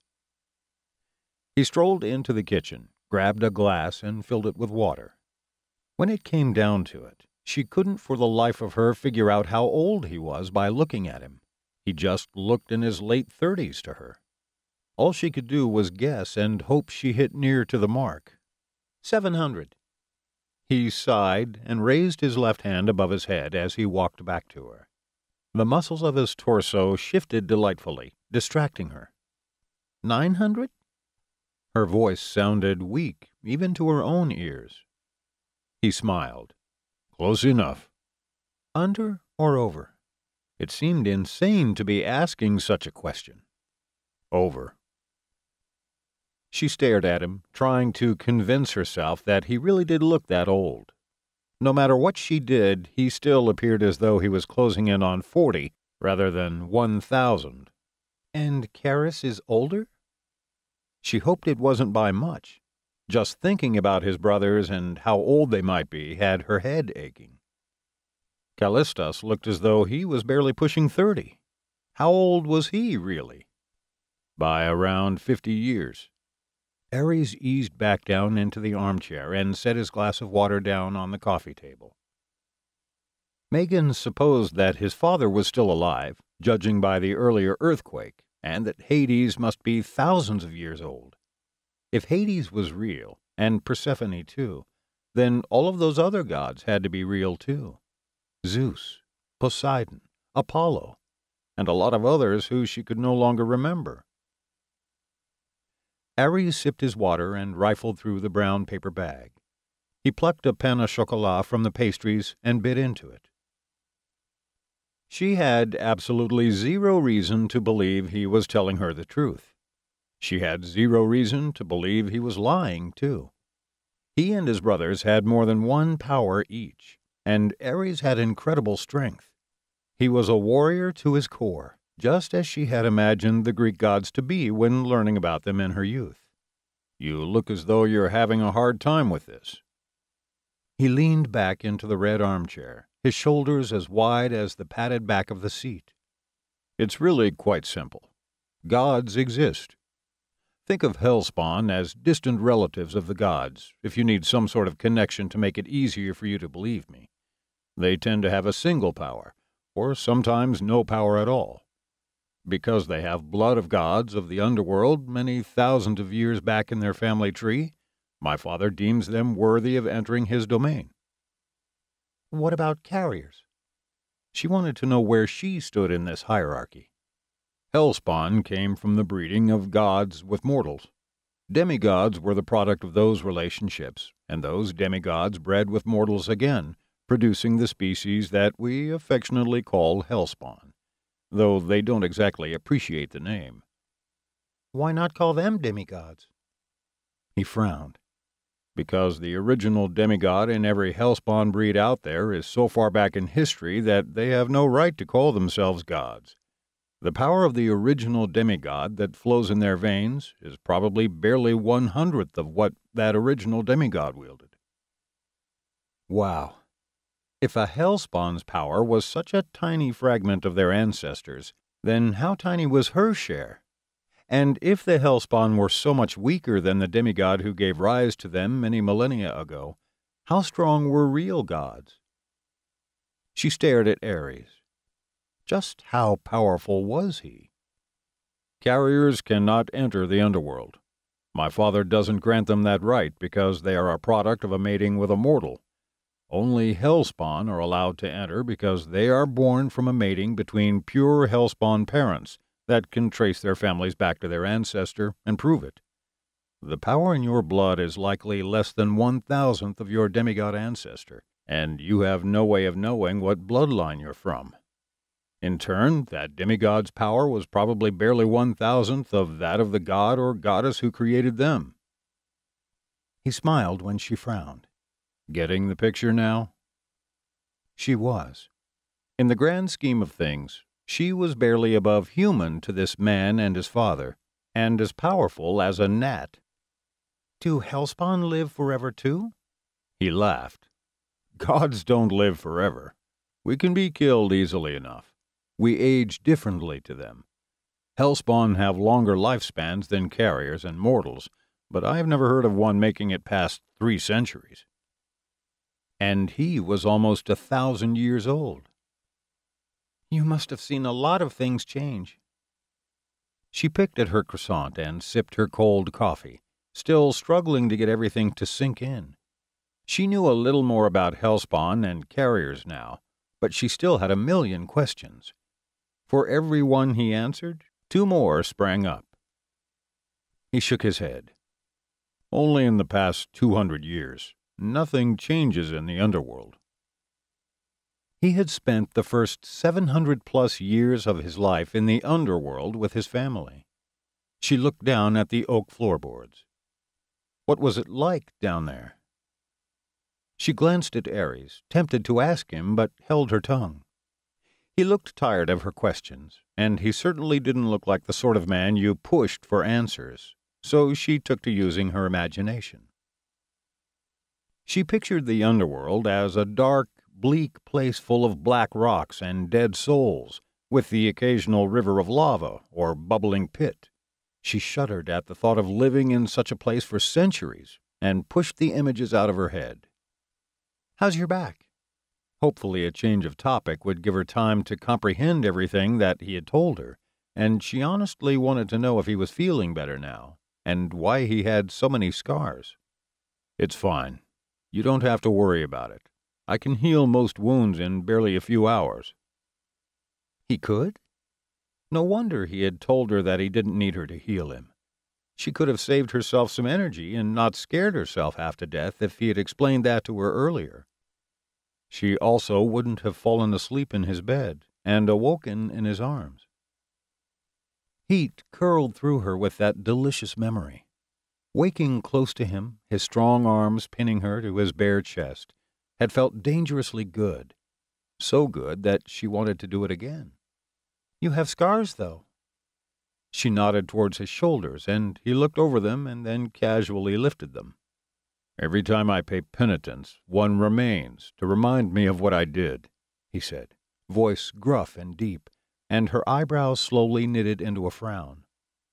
There were countless scars on his back, how many times had he allowed someone to inflict such terrible punishment on him as she had witnessed last night? Marek had said that Ares had never learned to hold his black tongue. He had spoken that language twice in her presence in the short time that she had known him. Did he curse often and invoke the wrath of the gods? Why didn't he just curse in a language that wouldn't end in punishment? What about the scar on your chin? Was that penitence too? She blushed when he frowned at her. She probably shouldn't have mentioned it. It was barely visible through the short layer of dark stubble coating his jaw, and the surprise in his expression silently asked how she had noticed it. There was no way she was going to confess that she had been staring at his lips, wondering how good they would feel pressed against hers, when she had spotted it hiding in his stubble. He touched his chin and a smile tugged at those sensual lips, dragging her eyes to them and sparking images in her mind. A fantasy about kissing him and feeling the dominant force of his mouth claiming hers. My father made this one remain to remind me and Daimon that we were troublemakers. Daimon has the same scar. He grazed his hand along his jaw and around the back of his head and scratched his neck. She had never seen him look awkward before. He looked cute and boyish, but with a dash of wicked. We were brawling in the underworld when we were young and caused a little mess. He used his finger and thumb to illustrate how small it had been, bringing them together until their pads were barely a millimeter apart. What did you do? Having witnessed Daimon and Ares yesterday during their meeting, she could imagine that they had fought often as kids, and still fought now. They seemed to contrast each other perfectly. She smiled to herself. It did make sense in a way. Ares was fire, and Daimon was ice. Their parents must have known they were going to be trouble from the start.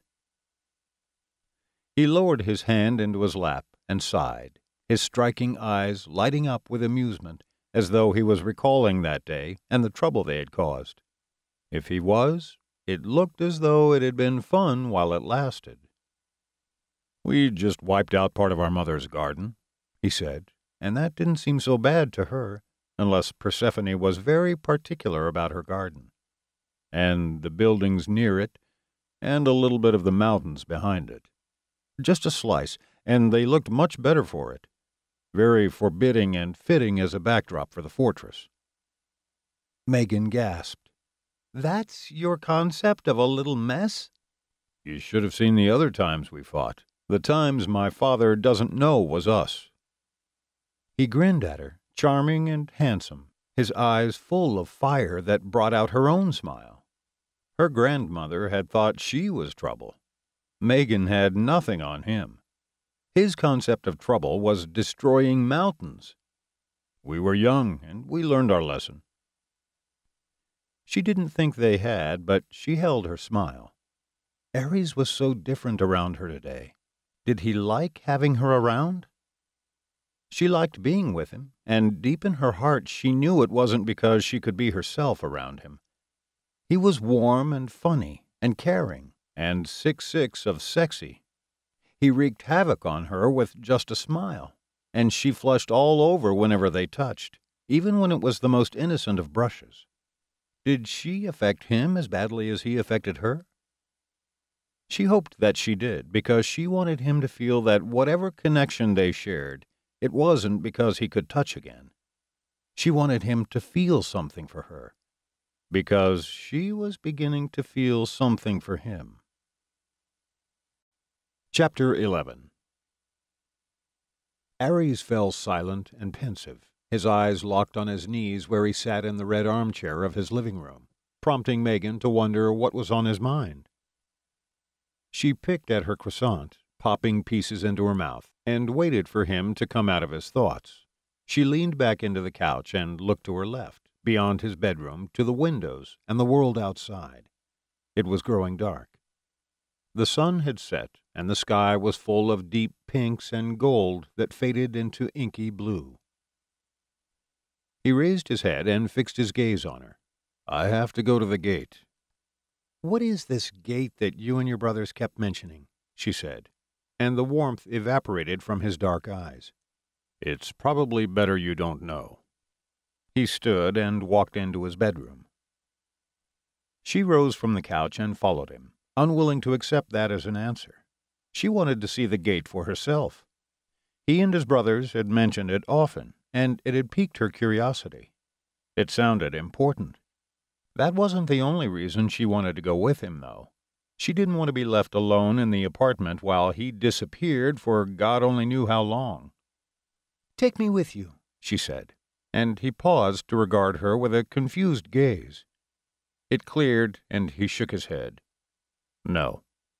Then take me home. He frowned, and his eyes darkened two full shades, filling with shadows and verging on black. No. It was more forceful that time, and he raked his dark gaze over her.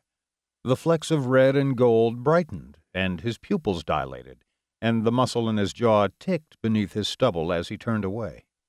I don't want to stay here alone. She really hadn't wanted to admit that, and the way he looked over his shoulder at her, rugged features awash with concern, made her look away. He wasn't the only one who hated admitting to any weakness.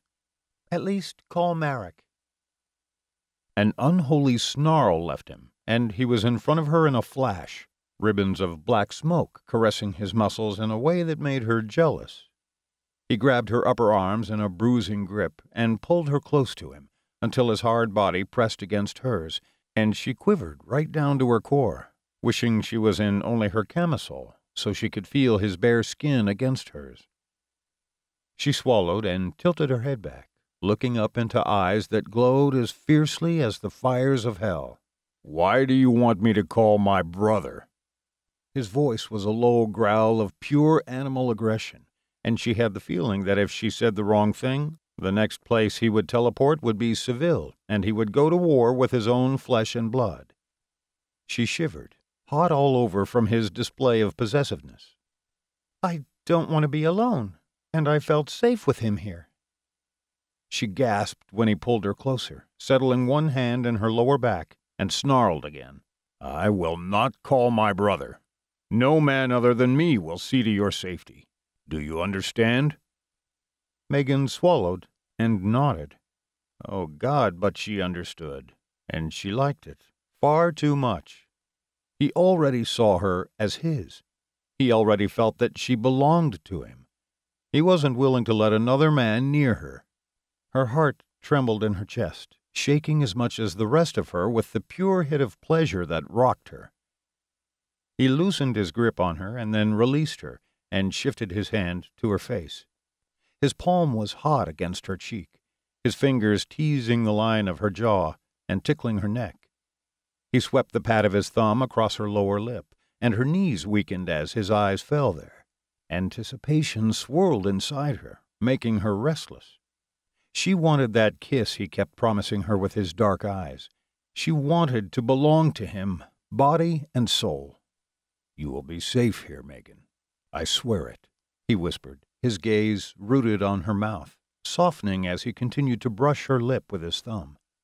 I would never allow anything to happen to you. Do you believe me? His eyes finally left her mouth, and she released the breath she had been holding. She met his gaze and nodded. She did believe him, with all of her heart and every drop of her blood. He would protect her from anything, even his brothers. He wouldn't allow anyone to touch her. That both pleased and frightened her.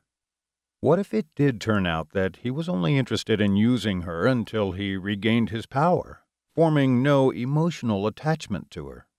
She would want to leave rather than allow that to happen. Would he let her leave? The dark, possessive edge to his eyes and his touch said he wouldn't. He would seek to keep her with him and convince her to surrender to him. Would she be strong enough to resist him when her desire for this powerful warrior had already stripped away her defenses? She slowly nodded. Good, he murmured, and his gaze returned to her mouth, softening once more. There are protection spells in place around my apartment. I will know if anyone tries to enter and will come straight back to you. I promise. Not good enough. He released her and stalked over to his closet. Her body mourned the loss of his hands on her and the heat of his touch. He slid the door open and reached inside, and she expected him to go for his weapons, but instead he came out holding the amulet she had seen. It had repelled her, but he could touch it easily enough. Was it linked to the gate? He tossed it onto the bed and then grabbed a black shirt and slipped his arms into it. He buttoned it and then took his holster and settled it around his shoulders. She still hadn't figured out why a man with his power needed weapons. Was it so he didn't draw too much attention to himself when fighting the demons he and his brother seemed to hate so much? He picked up the amulet, slipped the chain over his head, and tucked the circular pendant inside his black shirt. I will be safest with you, she said, unwilling to give up and behave herself like a good little girl. She wanted to see that gate, and she didn't want to be left alone. Going with Ares would fulfill both of those desires. She found her black trainers by the couch and stuffed her feet into them. He shook his head. Not going to happen. He pulled a black band out of his pocket neatened the top half of his hair, and tied it at the back of his head, leaving the underneath down. He crossed the living room to his motorcycle and shoved his feet into his boots. Please? She hadn't tried playing nice. Perhaps it would prove to be his weakness. He had blushed when she had thanked him. If she asked nicely, would he cave and let her come along? He huffed and stalked back towards her, immense and formidable, looking every bit the warrior with his black clothing, weapons, and the vicious edge to his eyes. The gate is a dangerous place. It attracts demons. Demons feed on fear, Megan. If one shows up and you're scared, you'll make it stronger and make it harder for me to deal with it. He positively growled the words at her, and for a moment she reconsidered her desire to go with him. Only for a split second, though. The thought of encountering more demons unsettled her, but she felt certain she could keep her head if anything happened, because she knew Ares would protect her. She was better out there with him than in here alone. He hesitated a few feet from her, the darkness in his eyes lifting, raising her hope with it, and then black smoke swirled up and around his legs. Damn him! The darkness engulfed him. Megan lunged and grabbed whatever her hands hit, determined to make him stay so she could convince him to let her come along. The colors of the apartment whirled together, and her stomach twisted with them, her head spinning in the opposite direction. Frigid air caressed her skin. Something hit her. Or did she hit it? It hurt either way. She grunted as her shoulder and hip slammed into something damp and very hard. It smelled like grass. Stubborn, Ares huffed, and his hand claimed her arm, and the world spun again, racing upwards this time. Her feet hit the ground and her knees buckled. His grip on her tightened and kept her upright as the colors around her slowly arranged themselves into vague shapes and pitched up and down. Are you all right? he whispered, concern lacing his tone and warming her. She managed to nod and took a few deep breaths. He let go of her arm and turned away from her. The vague shapes surrounding her became clearer, gaining details.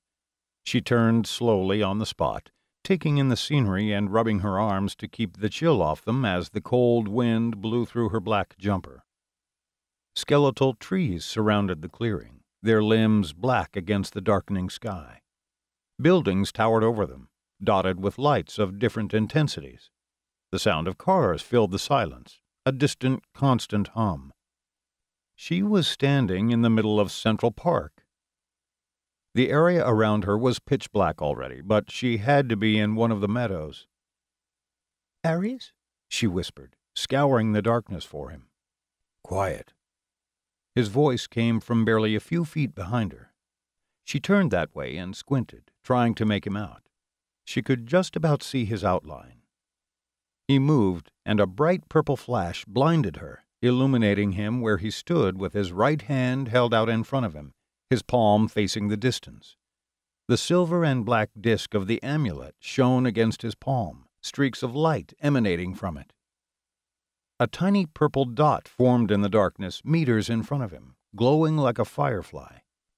His eyes narrowed on it, and it dropped so it was a few feet from the grass, and began to grow, forming a ring that lay flat above the ground. It spread outwards and flashed, and another ring appeared, Tiny glyphs tracked the outside of the smaller ring, shining green and blue. The larger ring flashed again, and symbols appeared around the inside of it.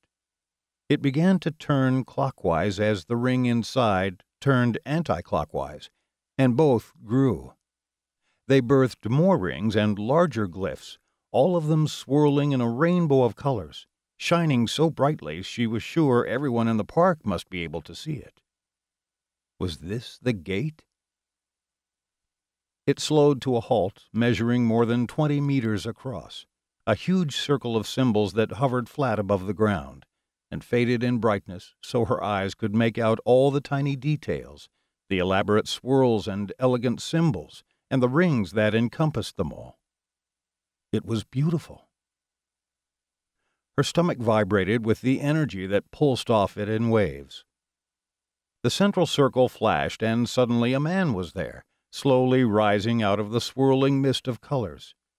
He floated upwards until his feet were visible and then stopped. He neatened out his long, dark winter coat and walked towards her, floating on air. The man reached the edge of the gate and stepped down onto the grass. He nodded to Ares, his vivid golden eyes glowing in the darkness, and then smiled at her and walked away into the night. Ares continued to stare at the gate. It began to move in the opposite direction, shrinking at the time, the glyphs disappearing with blinding flashes. It grew smaller and smaller until only the one ring remained, and then collapsed with a harsh burst of purple light. When her vision came back, the gate was gone, and Ares was staring at her, the amulet in his hand still glowing faintly. You shouldn't be here. The darkness and ice in his tone made her jump, and she took a step back as he advanced on her. It was stupid and dangerous. She ignored him and looked beyond him to where the gate had been. It was impressive and beautiful. He huffed, grabbed her arm, and pulled her flush against his hard body. Heat flashed over her skin, chasing the chill away, and she looked up into his eyes. The red and gold in them brightened when she settled her hands on his chest, feeling his warmth through his black shirt, and his heart pounding erratically. It skipped a beat when she pressed her fingertips into his hard pectorals and held his gaze. That gaze lowered to her mouth, and she tilted her head back, silently urging him to put her out of her misery and go through with it this time. She just wanted one kiss, needed to know his taste. She would make it stop at just a kiss. She would. She wouldn't let him use her, and she wouldn't use him. It would go no further than a simple kiss, until she was certain of her feelings for him and his for her. She swore it. Did she really care if he was out to use her? Her heart said no. Her mind said yes. They pulled her in opposing directions, and all the while Ares held her, his eyes locked on her mouth. His lips parted, and she mirrored him, staring at his mouth and wondering what he would taste like. She ached with the need to know, with the desire to feel his mouth on her. He held her for what felt like hours, his eyes never leaving her mouth, and his heart drumming out a fast rhythm against her palms. He slowly tightened his grip, drawing her closer, crushing her against his body, and forcing her to tip her head back further in order to keep looking at his mouth. Kiss me, she thought. She couldn't take it. She leaned into him, tiptoed, bringing their mouths closer together. Just centimeters of cold night air separated them. He would barely have to dip his head to capture her lips. Didn't he want to? Didn't he crave her as much as she craved him? She could barely breathe. Anticipation coiled tightly inside her, squeezing her lungs, and she was ready to explode from the slightest brush of his body against hers. His chest heaved against her palms, heart working overtime. He craved her. She knew it. He was fighting his hunger, and she cursed him for it, for torturing her with the thought that he might kiss her, as his warm breath washed over her face. Damn it! If he wasn't going to kiss her, then she was sure as heck going to kiss him. Megan pushed herself up to do just that. He closed his eyes. Darkness swept in and cold swirled over her skin. Her stomach spun with it, and she clung to Ares, head reeling and heart hammering. Her backside hit something soft. She realized she had shut her eyes too, and slowly cracked them open. The apartment wobbled around her, and she closed them again, afraid she would lose what little she had eaten if she didn't wait for the dizziness to pass. Her hands gripped the seat of the red couch, holding onto it as fiercely as she had held onto Ares. When her head had settled, she opened her eyes.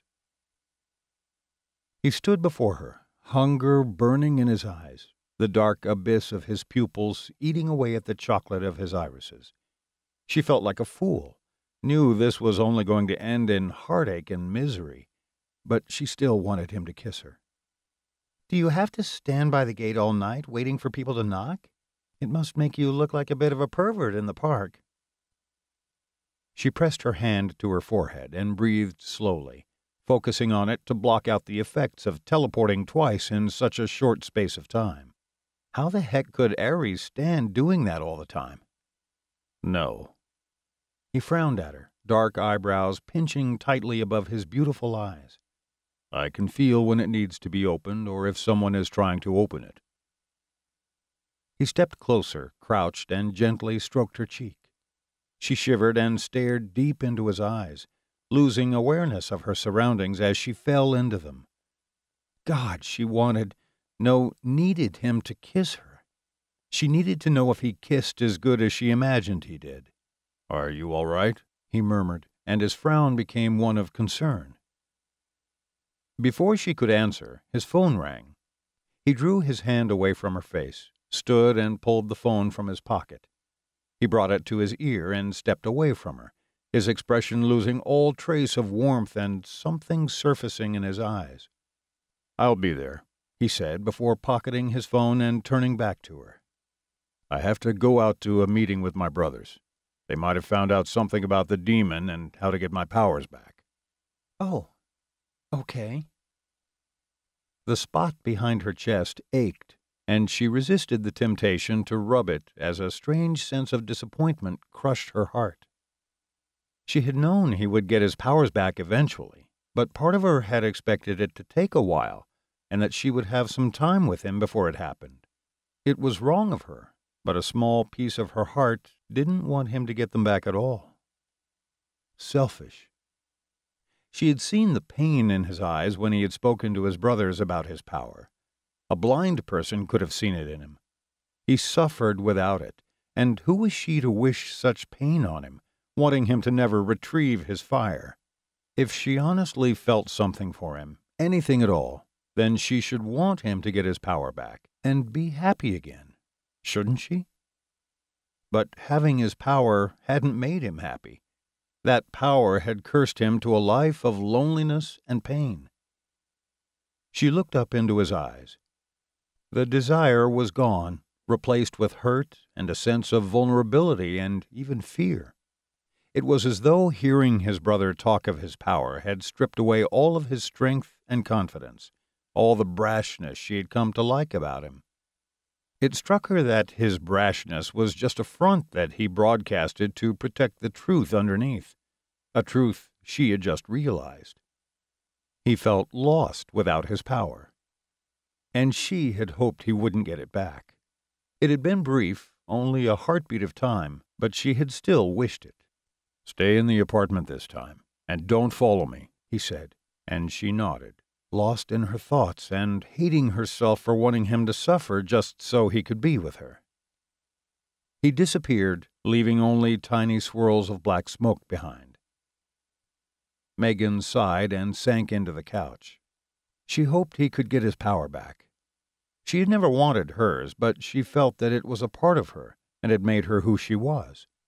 She wasn't sure how she would feel if the Frenchman had taken her power rather than Ares's. No, she was sure. She would have felt as lost as Ares did. A sense of determination and resolve flowed through her as she thought about that, and she made up her mind. She would help him get his power back, if she could, because he had lost it protecting her. She would do all she could for him, even though she knew that when he regained his power, he would lose his ability to touch her. The ache in her chest worsened. He would leave her. Chapter 12 Ares appeared in the middle of the front garden of the elegant Japanese mansion. Large stone lanterns lit the winding gravel path between the impressive covered wooden gate that broke the line of the whitewashed wall behind him and the large wooden single story building that sprawled in front of him. Fingers of pink and gold clouds laced the lightening sky above the mansion, signaling dawn was well under way, and a chill hung in the damp, wintry air. Lamps in the entranceway of the building threw golden light upon the underside of the graceful ribs of curved gray tiles of the porch roof and the raised wooden floor, a warm welcome that drew him towards it. His boots crunched on the gravel as he walked, insides a swirling maelstrom of emotion that refused to settle. The light early morning breeze rustled the skeletal trees dotted around the grounds of the mansion and soothed him, easing the edge off his nerves. He didn't want to be at this meeting, even though he knew that this place was where he belonged. He should be here with his brothers, not hidden away in his apartment, snatching what precious time he had with Megan. He should have taken her home already, ridding himself of temptation so he could focus on his mission. It had crossed his mind several times in the past 24 hours, but each time his heart had pushed it away, stamping it out of existence and telling him to keep her. He couldn't keep her, no matter how much he wanted to do just that. It was impossible. He toed his right boot off, set his foot down on the porch floor, and removed his left one. He picked both of them up, depositing them with the other shoes and boots lining a shelf closer to the door. He hated having to walk around in his socks like this, but Esher was particular about the mansion, and since it was now solely his home, Ares didn't have the right to complain. He had chosen to leave decades ago, along with many of his brothers. Only Daimon had remained with Esher in Tokyo, and even he now split his time between this city and Hong Kong. Ares smiled with the memories this place always brought to the forefront of his mind. They had shared this mansion for over a century, safe here, surrounded by powerful wards and spells. There had been fights, more than he could count, and laughter, and good times, as well as bad. They had taken care of each other, a group linked by more than blood and brotherly love. This was where he belonged, and as much as it pained him, he had to remember that. He had to get his power back. The slatted wooden door opened in front of him. You're late, Esher grumbled, but stepped aside to let him enter. His younger brother hadn't changed the place much in the past few decades, but the alterations he had made were ones they all agreed made the place far more comfortable. The huge open plan central room of the mansion stretched over 50 meters from one end to the other, linking the two wings of the horseshoe shaped complex. On the left side of it, near paper walls that divided it from the kitchen, was a long, low wooden table and cushions. On the right, Esher had brought in cream couches that formed a semicircle around a huge television in the corner. Definitely an improvement, although the viewing left much to be desired. Ares had lived in Japan for over a century, but he had never grasped the language. Esher spoke it like he had been born and raised in the country. He found that strange, considering Esher very rarely spoke to mortals. Why bother to learn how to communicate with them if you wanted nothing to do with them? Not that he could blame his brother for despising humankind, not after what he had been through. Esher's deep blue eyes turned stormy, and his black eyebrows knitted into a frown. Ares turned his gaze away from his younger brother, not wanting him to get the impression he was thinking about his past, even though he was. It didn't take much to trigger an episode in Esher. He was surprised his brother hadn't gone off the rails when he had called him to New York. His right eyebrow lifted as he surveyed the huge room. He wasn't the only one who was late. Both Valen and Marek were yet to arrive. Keras and Calistos lounged in the small television area. Keras had his nose in a book, and Ares knew he wasn't really reading it. He was trying to shut out the incessant gunfire blaring out of the television. Calistos twisted the controller in his hands and barked something unintelligible at the screen. He raised his hand as though he intended to throw the controller, and then quickly snapped it back down and hammered the buttons, his expression darkening with determination. Personally, Ares didn't see the appeal of beating up virtual enemies. It was far more fun to do it in real life. The screens that normally covered the wall opposite him had been drawn back revealing the two wings of the traditional building, the covered wooden walkway that flowed around the three sides, and the beautiful garden. It was the one thing he had liked about this place. The principal construction materials in the building were paper and wood, and the first few years after their arrival had been the worst when it came to controlling his power. He had spent a large part of those initial years out in the garden, avoiding setting fire to the mansion and learning to harmonize with his power so he had more control over it in its new state. The extensive garden had been manicured to perfection, each pine needle trimmed until the trees in the central courtyard looked like something from a painting, with oval layers of green that wound upwards from curving brown trunks, and each pebble in the gravel had been raked until they lay smooth. Every boulder was laced with bright moss that looked like velvet as it hugged the deep gray rock. The remaining fading leaves of two large maple trees at the far end of the garden, where it rose and dipped in small, perfectly devised hills, added a splash of color, bright crimson against the morning sky. Most of the leaves had fallen, resting on the green, moss covered rocks and the grass surrounding the trees. In the Zen garden on the other side of the wing to his left, the gravel formed intricate lines that curved gracefully around rocks and other features. He had often lost himself in his thoughts while staring at it from the hot natural bath nearby. The perfect representation of nature in the garden relaxed him. Not a stone or leaf out of place nothing but beauty in its purest form. He supposed in a way it reminded him, and probably his brothers, of their mother. Serene, graceful, pure, and a vibrant, breathtaking reflection of nature. Maybe that was why it relaxed him so much. In spring, the cherry blossoms bloomed, and he always enjoyed sitting on one of the boulders, soaking in the warming sun the scent of the flowers and the light playing on the koi pond that flowed under the wing of the house on his right, directly below Esher's room. When they had lived here together, Esher had spent hours sitting on the edge of the walkway above the water, close to his favorite element, watching the fish circle below him. Their father had built this place for Esher, to give him a place of sanctuary and quiet in the mortal world, but all of them had benefited from it. Daimon sat on the steps that led down from the raised walkway to the garden, staring at the sky as it slowly brightened. Valen appeared and flipped off Esher before he could say anything. Yeah, I'm late. Had to send a filthy demon back to hell.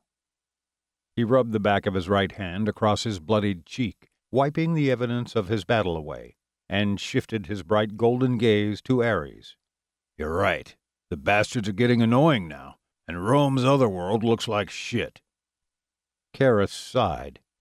Ares knew that his older brother was going to wait until they were locked in the middle of the fight of their long lives before he admitted that the demons were up to something. He could deny it all he wanted. It was happening, and the quicker they accepted that, the faster they could put a plan into place to stop it. Marek appeared next to one of the cream couches, slumped straight into it, and closed his eyes. He tipped his head up and rested it on the top of the back of the couch. I was sleeping, he muttered, his voice gravelly and deep. This had better be good. Haven't you found out anything about the demon? Ares crossed the room to the television area. I thought that was why you wanted me here. No, nothing yet. Marek cracked his eyes open and wearily shook his head. He stifled a yawn. I'm still working on it. He shouldn't feel relieved by that. He knew it, but it didn't stop him from feeling it. He had thought Keras had called him here because he had intel on the demon and how to get his power back. He had thought his time with Megan had been about to end. A chill skidded down his spine. Keras turned cold green eyes on him. It was about to end. The momentary relief he had felt shriveled and died. An intervention? Are you fucking kidding me? He stormed away from his brothers. Screw you all. Go fuck yourselves. He was not doing this. He closed his eyes and pictured his apartment. Keras teleported straight in front of him and grabbed his arms keeping him in the mansion, and Ares cursed the bastard's power. Not for the first time, either. Keras was so powerful that he could stop any of them from teleporting with only a touch, no matter how much they wanted to leave, and his older brother loved using it to get his way. It is for the best, Ares. That voice, so calm and smooth, unfaltering yet commanding, filled him with a black urge to lash out at his brother. Keras didn't know what was best for him. He was only considering what was best for the team. Ares locked his hands around his older brother's wrists and forced his hands off his arms. He opened his eyes and stared into Keras's, challenging him to do it, to try to make him forget Megan and fall in line. Keras's green eyes remained impassive. Do not look at me like that. Like what? Ares squared up to him. I thought it was strange that not one of you besides Esher would look at me. This is sick. No, you are. Keras twisted his hands and broke free of Ares's grip. His eyes darkened, and the sense of power flowing from him increased, pushing down on Ares. You are sick, Ares. You have lost your power, and you are vulnerable, weak. She will be the death of you. Take her home. No! He stalked away from Keras, needing the space to stop him from lashing out. He turned on his brothers, catching the myriad of feelings in their eyes. He didn't want their pity, or their anger, or any of it. He noted that Daimon had remained outside, his back to them, evidently wanting no part of this intervention either. At least one of his brothers was on his side. You have no idea what it's like, so don't you dare all stand there looking at me like you understand what I'm going through. We understand, Valen said with a cruel smile. She's pretty, and it's been centuries since you've been between a woman's legs. You want to fuck her. So fuck her. Get it out of your system and get over it. Ares growled and grabbed Valen around the throat. You dare talk about Megan like that again, and I will kill you. Valen's fingers closed over his wrist, and Ares jerked as electricity bolted through him and lit him up like a firecracker. He dropped his brother and growled again. Fight me without your power, and we'll see who wins. He rolled the sleeves of his black shirt up and cracked his knuckles. Keras appeared between them and shoved Valen away, sending him slamming into the back of a couch.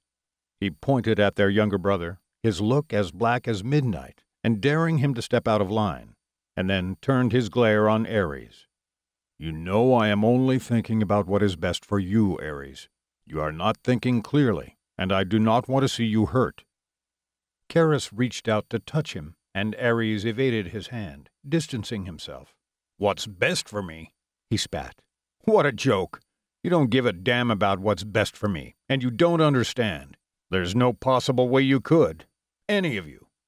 We need you to get your power back, old man, Marek said, calm and cool, and Ares closed his eyes. Without your power, there is a danger we might lose you in a fight, and we cannot risk that. I will not let a woman be the death of you. I know that. He ground his teeth and frowned. You think I don't fucking know that? He knew it, and it killed him. He had a chance to be with someone, to touch again without fear of hurting them and he had to give it up. Everything he had ever wanted was within his reach, but if he took hold of it, he would be turning his back on his duty. He couldn't be whole in both body and heart at the same time. He had to sacrifice something, and sense said he had to let it be his shot at love, because if he took hold of it and then regained his power, it would burn to ashes in his hands, destroyed by his own flames. He hung his head and cursed in the mortal tongue, blacker than anything he had ever said in his own language. Take her home, Ares. Keras again, and he heard no emotion in his tone, no shred of regret over what he was commanding him to give up. Out of all the people in this room, Keras should have been the one to understand most of all what he was asking of him. His older brother knew the pain of sacrificing love in the name of duty. Ares stared at the pale yellow tatami mats covering the floor. Marek, are you close to finding anything on the demon yet? He lifted his gaze, pinning it on him where he still reclined on the couch. Marek shook his head. Ares turned his gaze on Keras. When Marek finds something, then I will get my power back and deal with the bastard. Until then, my life is mine to live, not yours to control. Megan is mine. Anyone goes near her or steps foot in my apartment without my permission, I will gut them. You try to intervene again, and we will go to war, brother. He focused on his apartment and let the darkness take him. It parted to reveal the pale, coffee colored walls of his living room, and he stared out at the dark city, all of his anger fading to leave a cold numbness behind his breast. What had he just done? He had threatened his brothers. He ran his fingers over the sides of his head and held it, his gaze on the floor at his feet.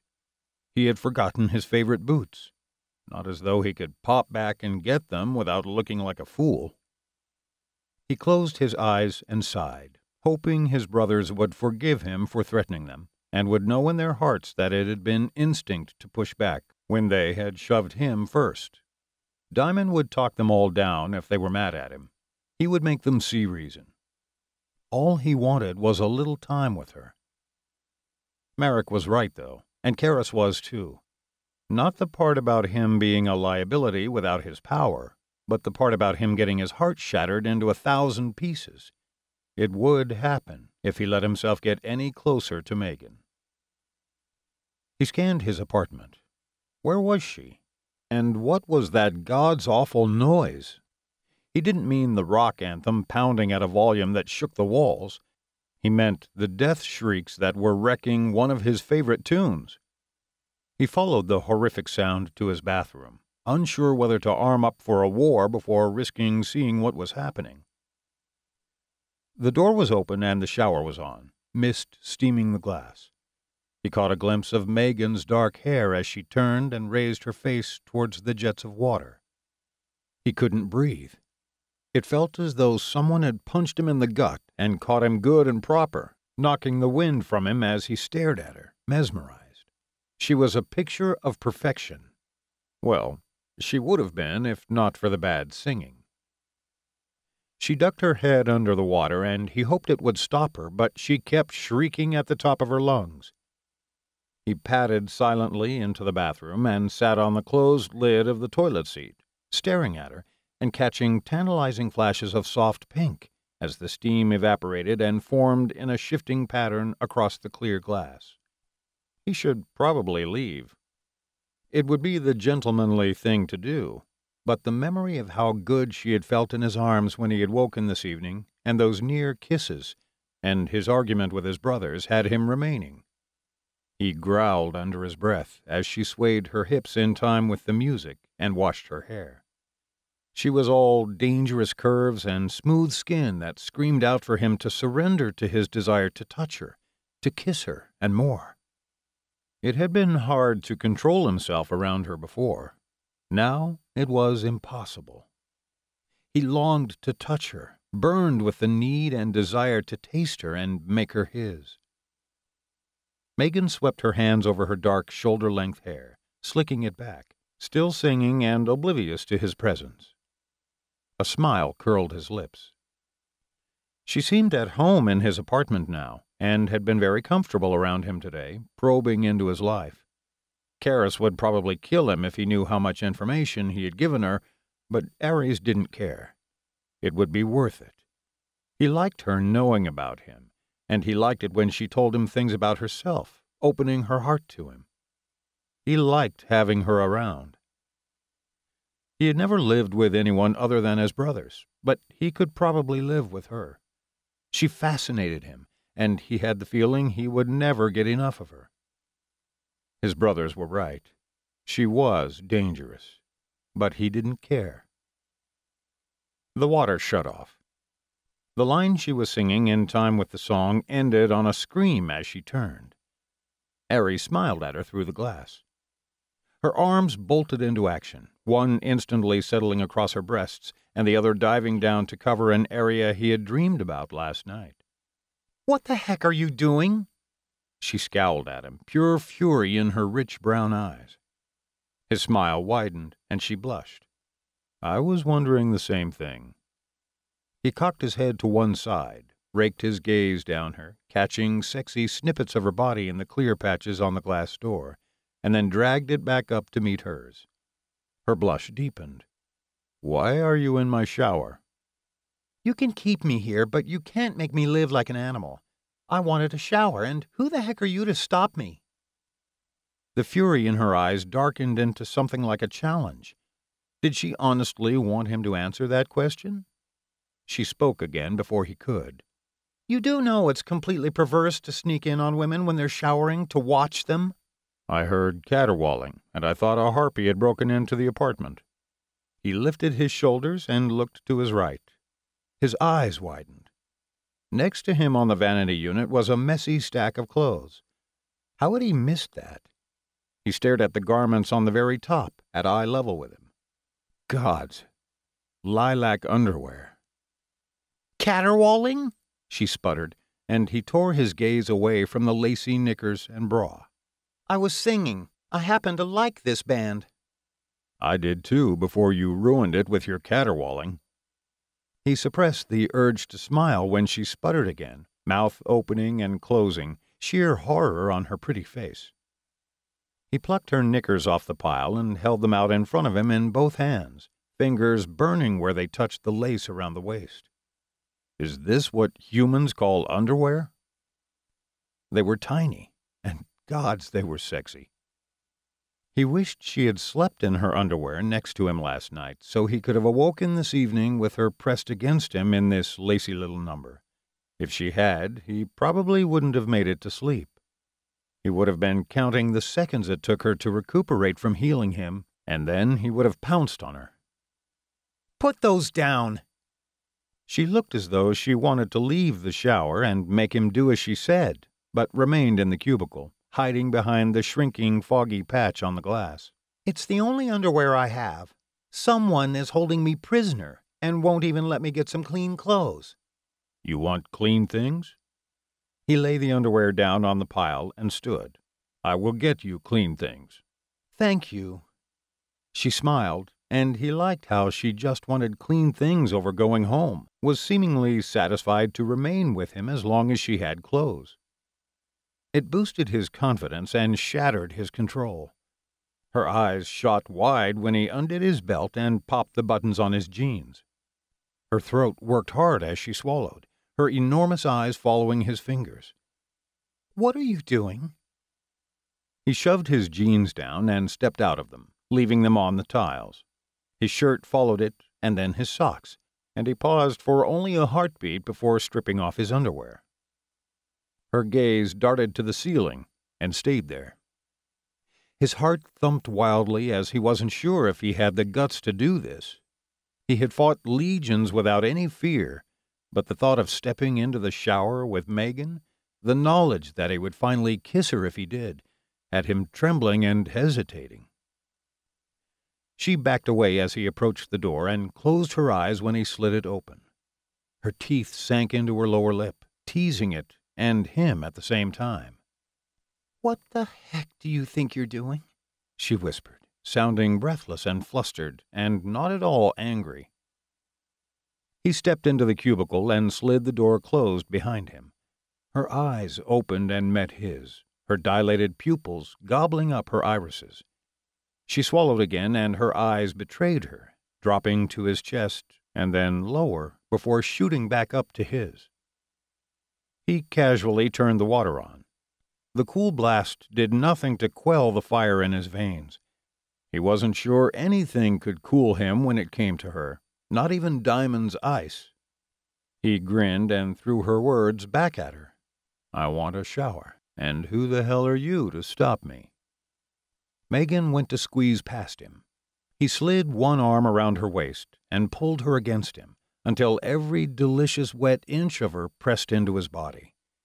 A thrill chased through him, heating his blood another fifty degrees until he was burning all over. Stay, he husked, as breathless as she had been, and stared down into her eyes. I won't do anything you don't want. I just want to feel you against me. I just want to kiss you. Can I kiss you? She trembled in his arms, and he realized that he was shaking too, his nerves getting the better of him. Where was the battle hardened warrior now? He had sworn he would be a kitten for her, and he was. Keras was right. She made him weak, stripped his confidence away, and left him vulnerable, all of his insecurities exposed to her. All of his hopes pinned on her. Her throat worked again, and he thought she might refuse him. But then she tipped her head up, her eyes dropped to his mouth, and her lips parted. Ares took that as an invite. Heart in his mouth, he swallowed and lowered his lips towards her. They touched his, a barely there caress. He inhaled sharply, and his insides flipped, a strange, unsettled feeling filling his chest. Her hands came down on his pectorals, fingers splayed and palms hot against his skin, and she pressed her mouth harder against his. He lost it. He tilted his head and claimed her mouth on a fierce inhale, sweeping his lips across hers, struggling to keep control as a thousand feelings flooded him, tearing down his strength and leaving him shaking. Her lips danced over his, soft and moist, and when her tongue caressed his lower lip, he couldn't take it. It was too much, evoking a response that was too intense, overwhelming him and turning his knees to liquid and stopping his heart. Divine. Ecstasy. Her kiss was bliss and everything he needed, but couldn't take. He grabbed her waist and shoved her off him, stared down at the tiles beneath his feet, and breathed hard, every muscle straining and shaking. Gods. He pulled in a deep, shuddering breath and held it, searching for some calm amongst the storm, needing to get his feelings under control so she didn't think he was a total freak. Or a virgin. Hell, he might as well be one. It had been close to three centuries since he had kissed a woman. Enough time to make him lose what skill he might have had and forget the basics. You taste like mint. He needed to say something, anything, no matter how ridiculous it sounded. It was better than panting like a boy wet behind the ears and looking like an idiot. I used your toothbrush. I'm sorry. She sounded breathless again and not at all sorry, and he liked it, and how fired up she was. The kiss hadn't only affected him. It's almost as though you wanted me to kiss you, he muttered, and lifted his eyes to hers, catching the spark of hunger and truth in them. She opened her mouth, and he swooped on it. He slid his hands down to her backside and groaned at the softness of her and pulled her close to him again, so all that softness pressed against the hard steel of his body, a perfect contrast that only aroused him further. Her mouth worked against his, her tongue braver than his own was, coming out again to trace his lips in a profoundly erotic way that had him trembling for more. He frowned, shifted one hand to the nape of her neck, burrowing his fingers into her brown hair, and kissed her harder.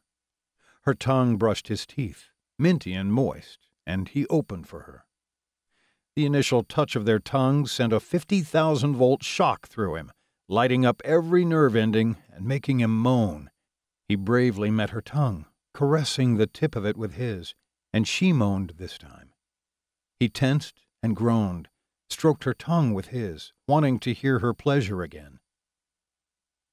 Her hands skimmed up his chest, and she settled them around his neck, fingers plowing through his hair, twirling the strands around them and anchoring his mouth to hers. He couldn't resist her. He ground his hips forward, rubbing his erection against her belly, and she gasped into his mouth. Gods, she was dangerous. He felt the full force of it now, and it hit him hard. He wouldn't be able to stop at just this kiss. This taste of her wouldn't satisfy his need for the beautiful mortal. He wanted more from her. He wanted to keep her. His duty was to his father, to his world, and his own kind. He had sworn to protect the underworld and his family. No matter how many times he told himself that, it didn't stop the hunger and need rolling through him, crashing over him and carrying him away. Fuck, Megan made him waver, ripped apart his defenses, and broke down the barriers around his heart. She was dangerous, and she would be the death of him if he let things go any further than this, because once he knew all of her, it would only be a matter of time before he fell in love with her. How would he ever be able to cope if that happened? Tasting her, knowing the feel of her skin and the pleasure of her body, would only damn him and torment him for eternity. And she would only leave him. He couldn't bear it. Ares broke away from her and grabbed her waist, locking his elbows as she tried to get closer to him and keeping her at a distance. The hunger in her eyes slowly died, and confusion replaced it. I can't. He despised those two words. Everything he had ever wanted was right in front of him, within his reach, but he couldn't take it. His power was a part of who he was, and that meant he wasn't himself without it. He had to get it back. It didn't stop the feelings from colliding inside him, pulling him apart. He wanted her so much, even when he knew that it would never work out, that he could never have the forever he needed with her. The moment he regained his power, he would lose the ability to touch her. It would be torture to remain with her then. How long would it be before she left him for another man? She would never stay, and he would never be content with only being able to see her and not touch her. It would kill them both. The gate called him. Fuck, he had never been happier to have his duty. He needed some space and time to think, and going through the machinations of opening the gate for a hellspawn would free up his mind for just that.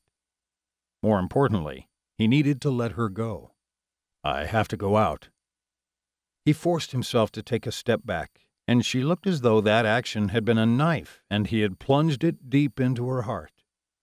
Her eyes searched his, and he hid nothing from her, hoping that if she saw what he was about to say, it would make it less painful for them both. I won't be long. When I come back, I'll take you home. She wrapped her arms around herself and stared at her feet, and he hated to see her looking vulnerable and small.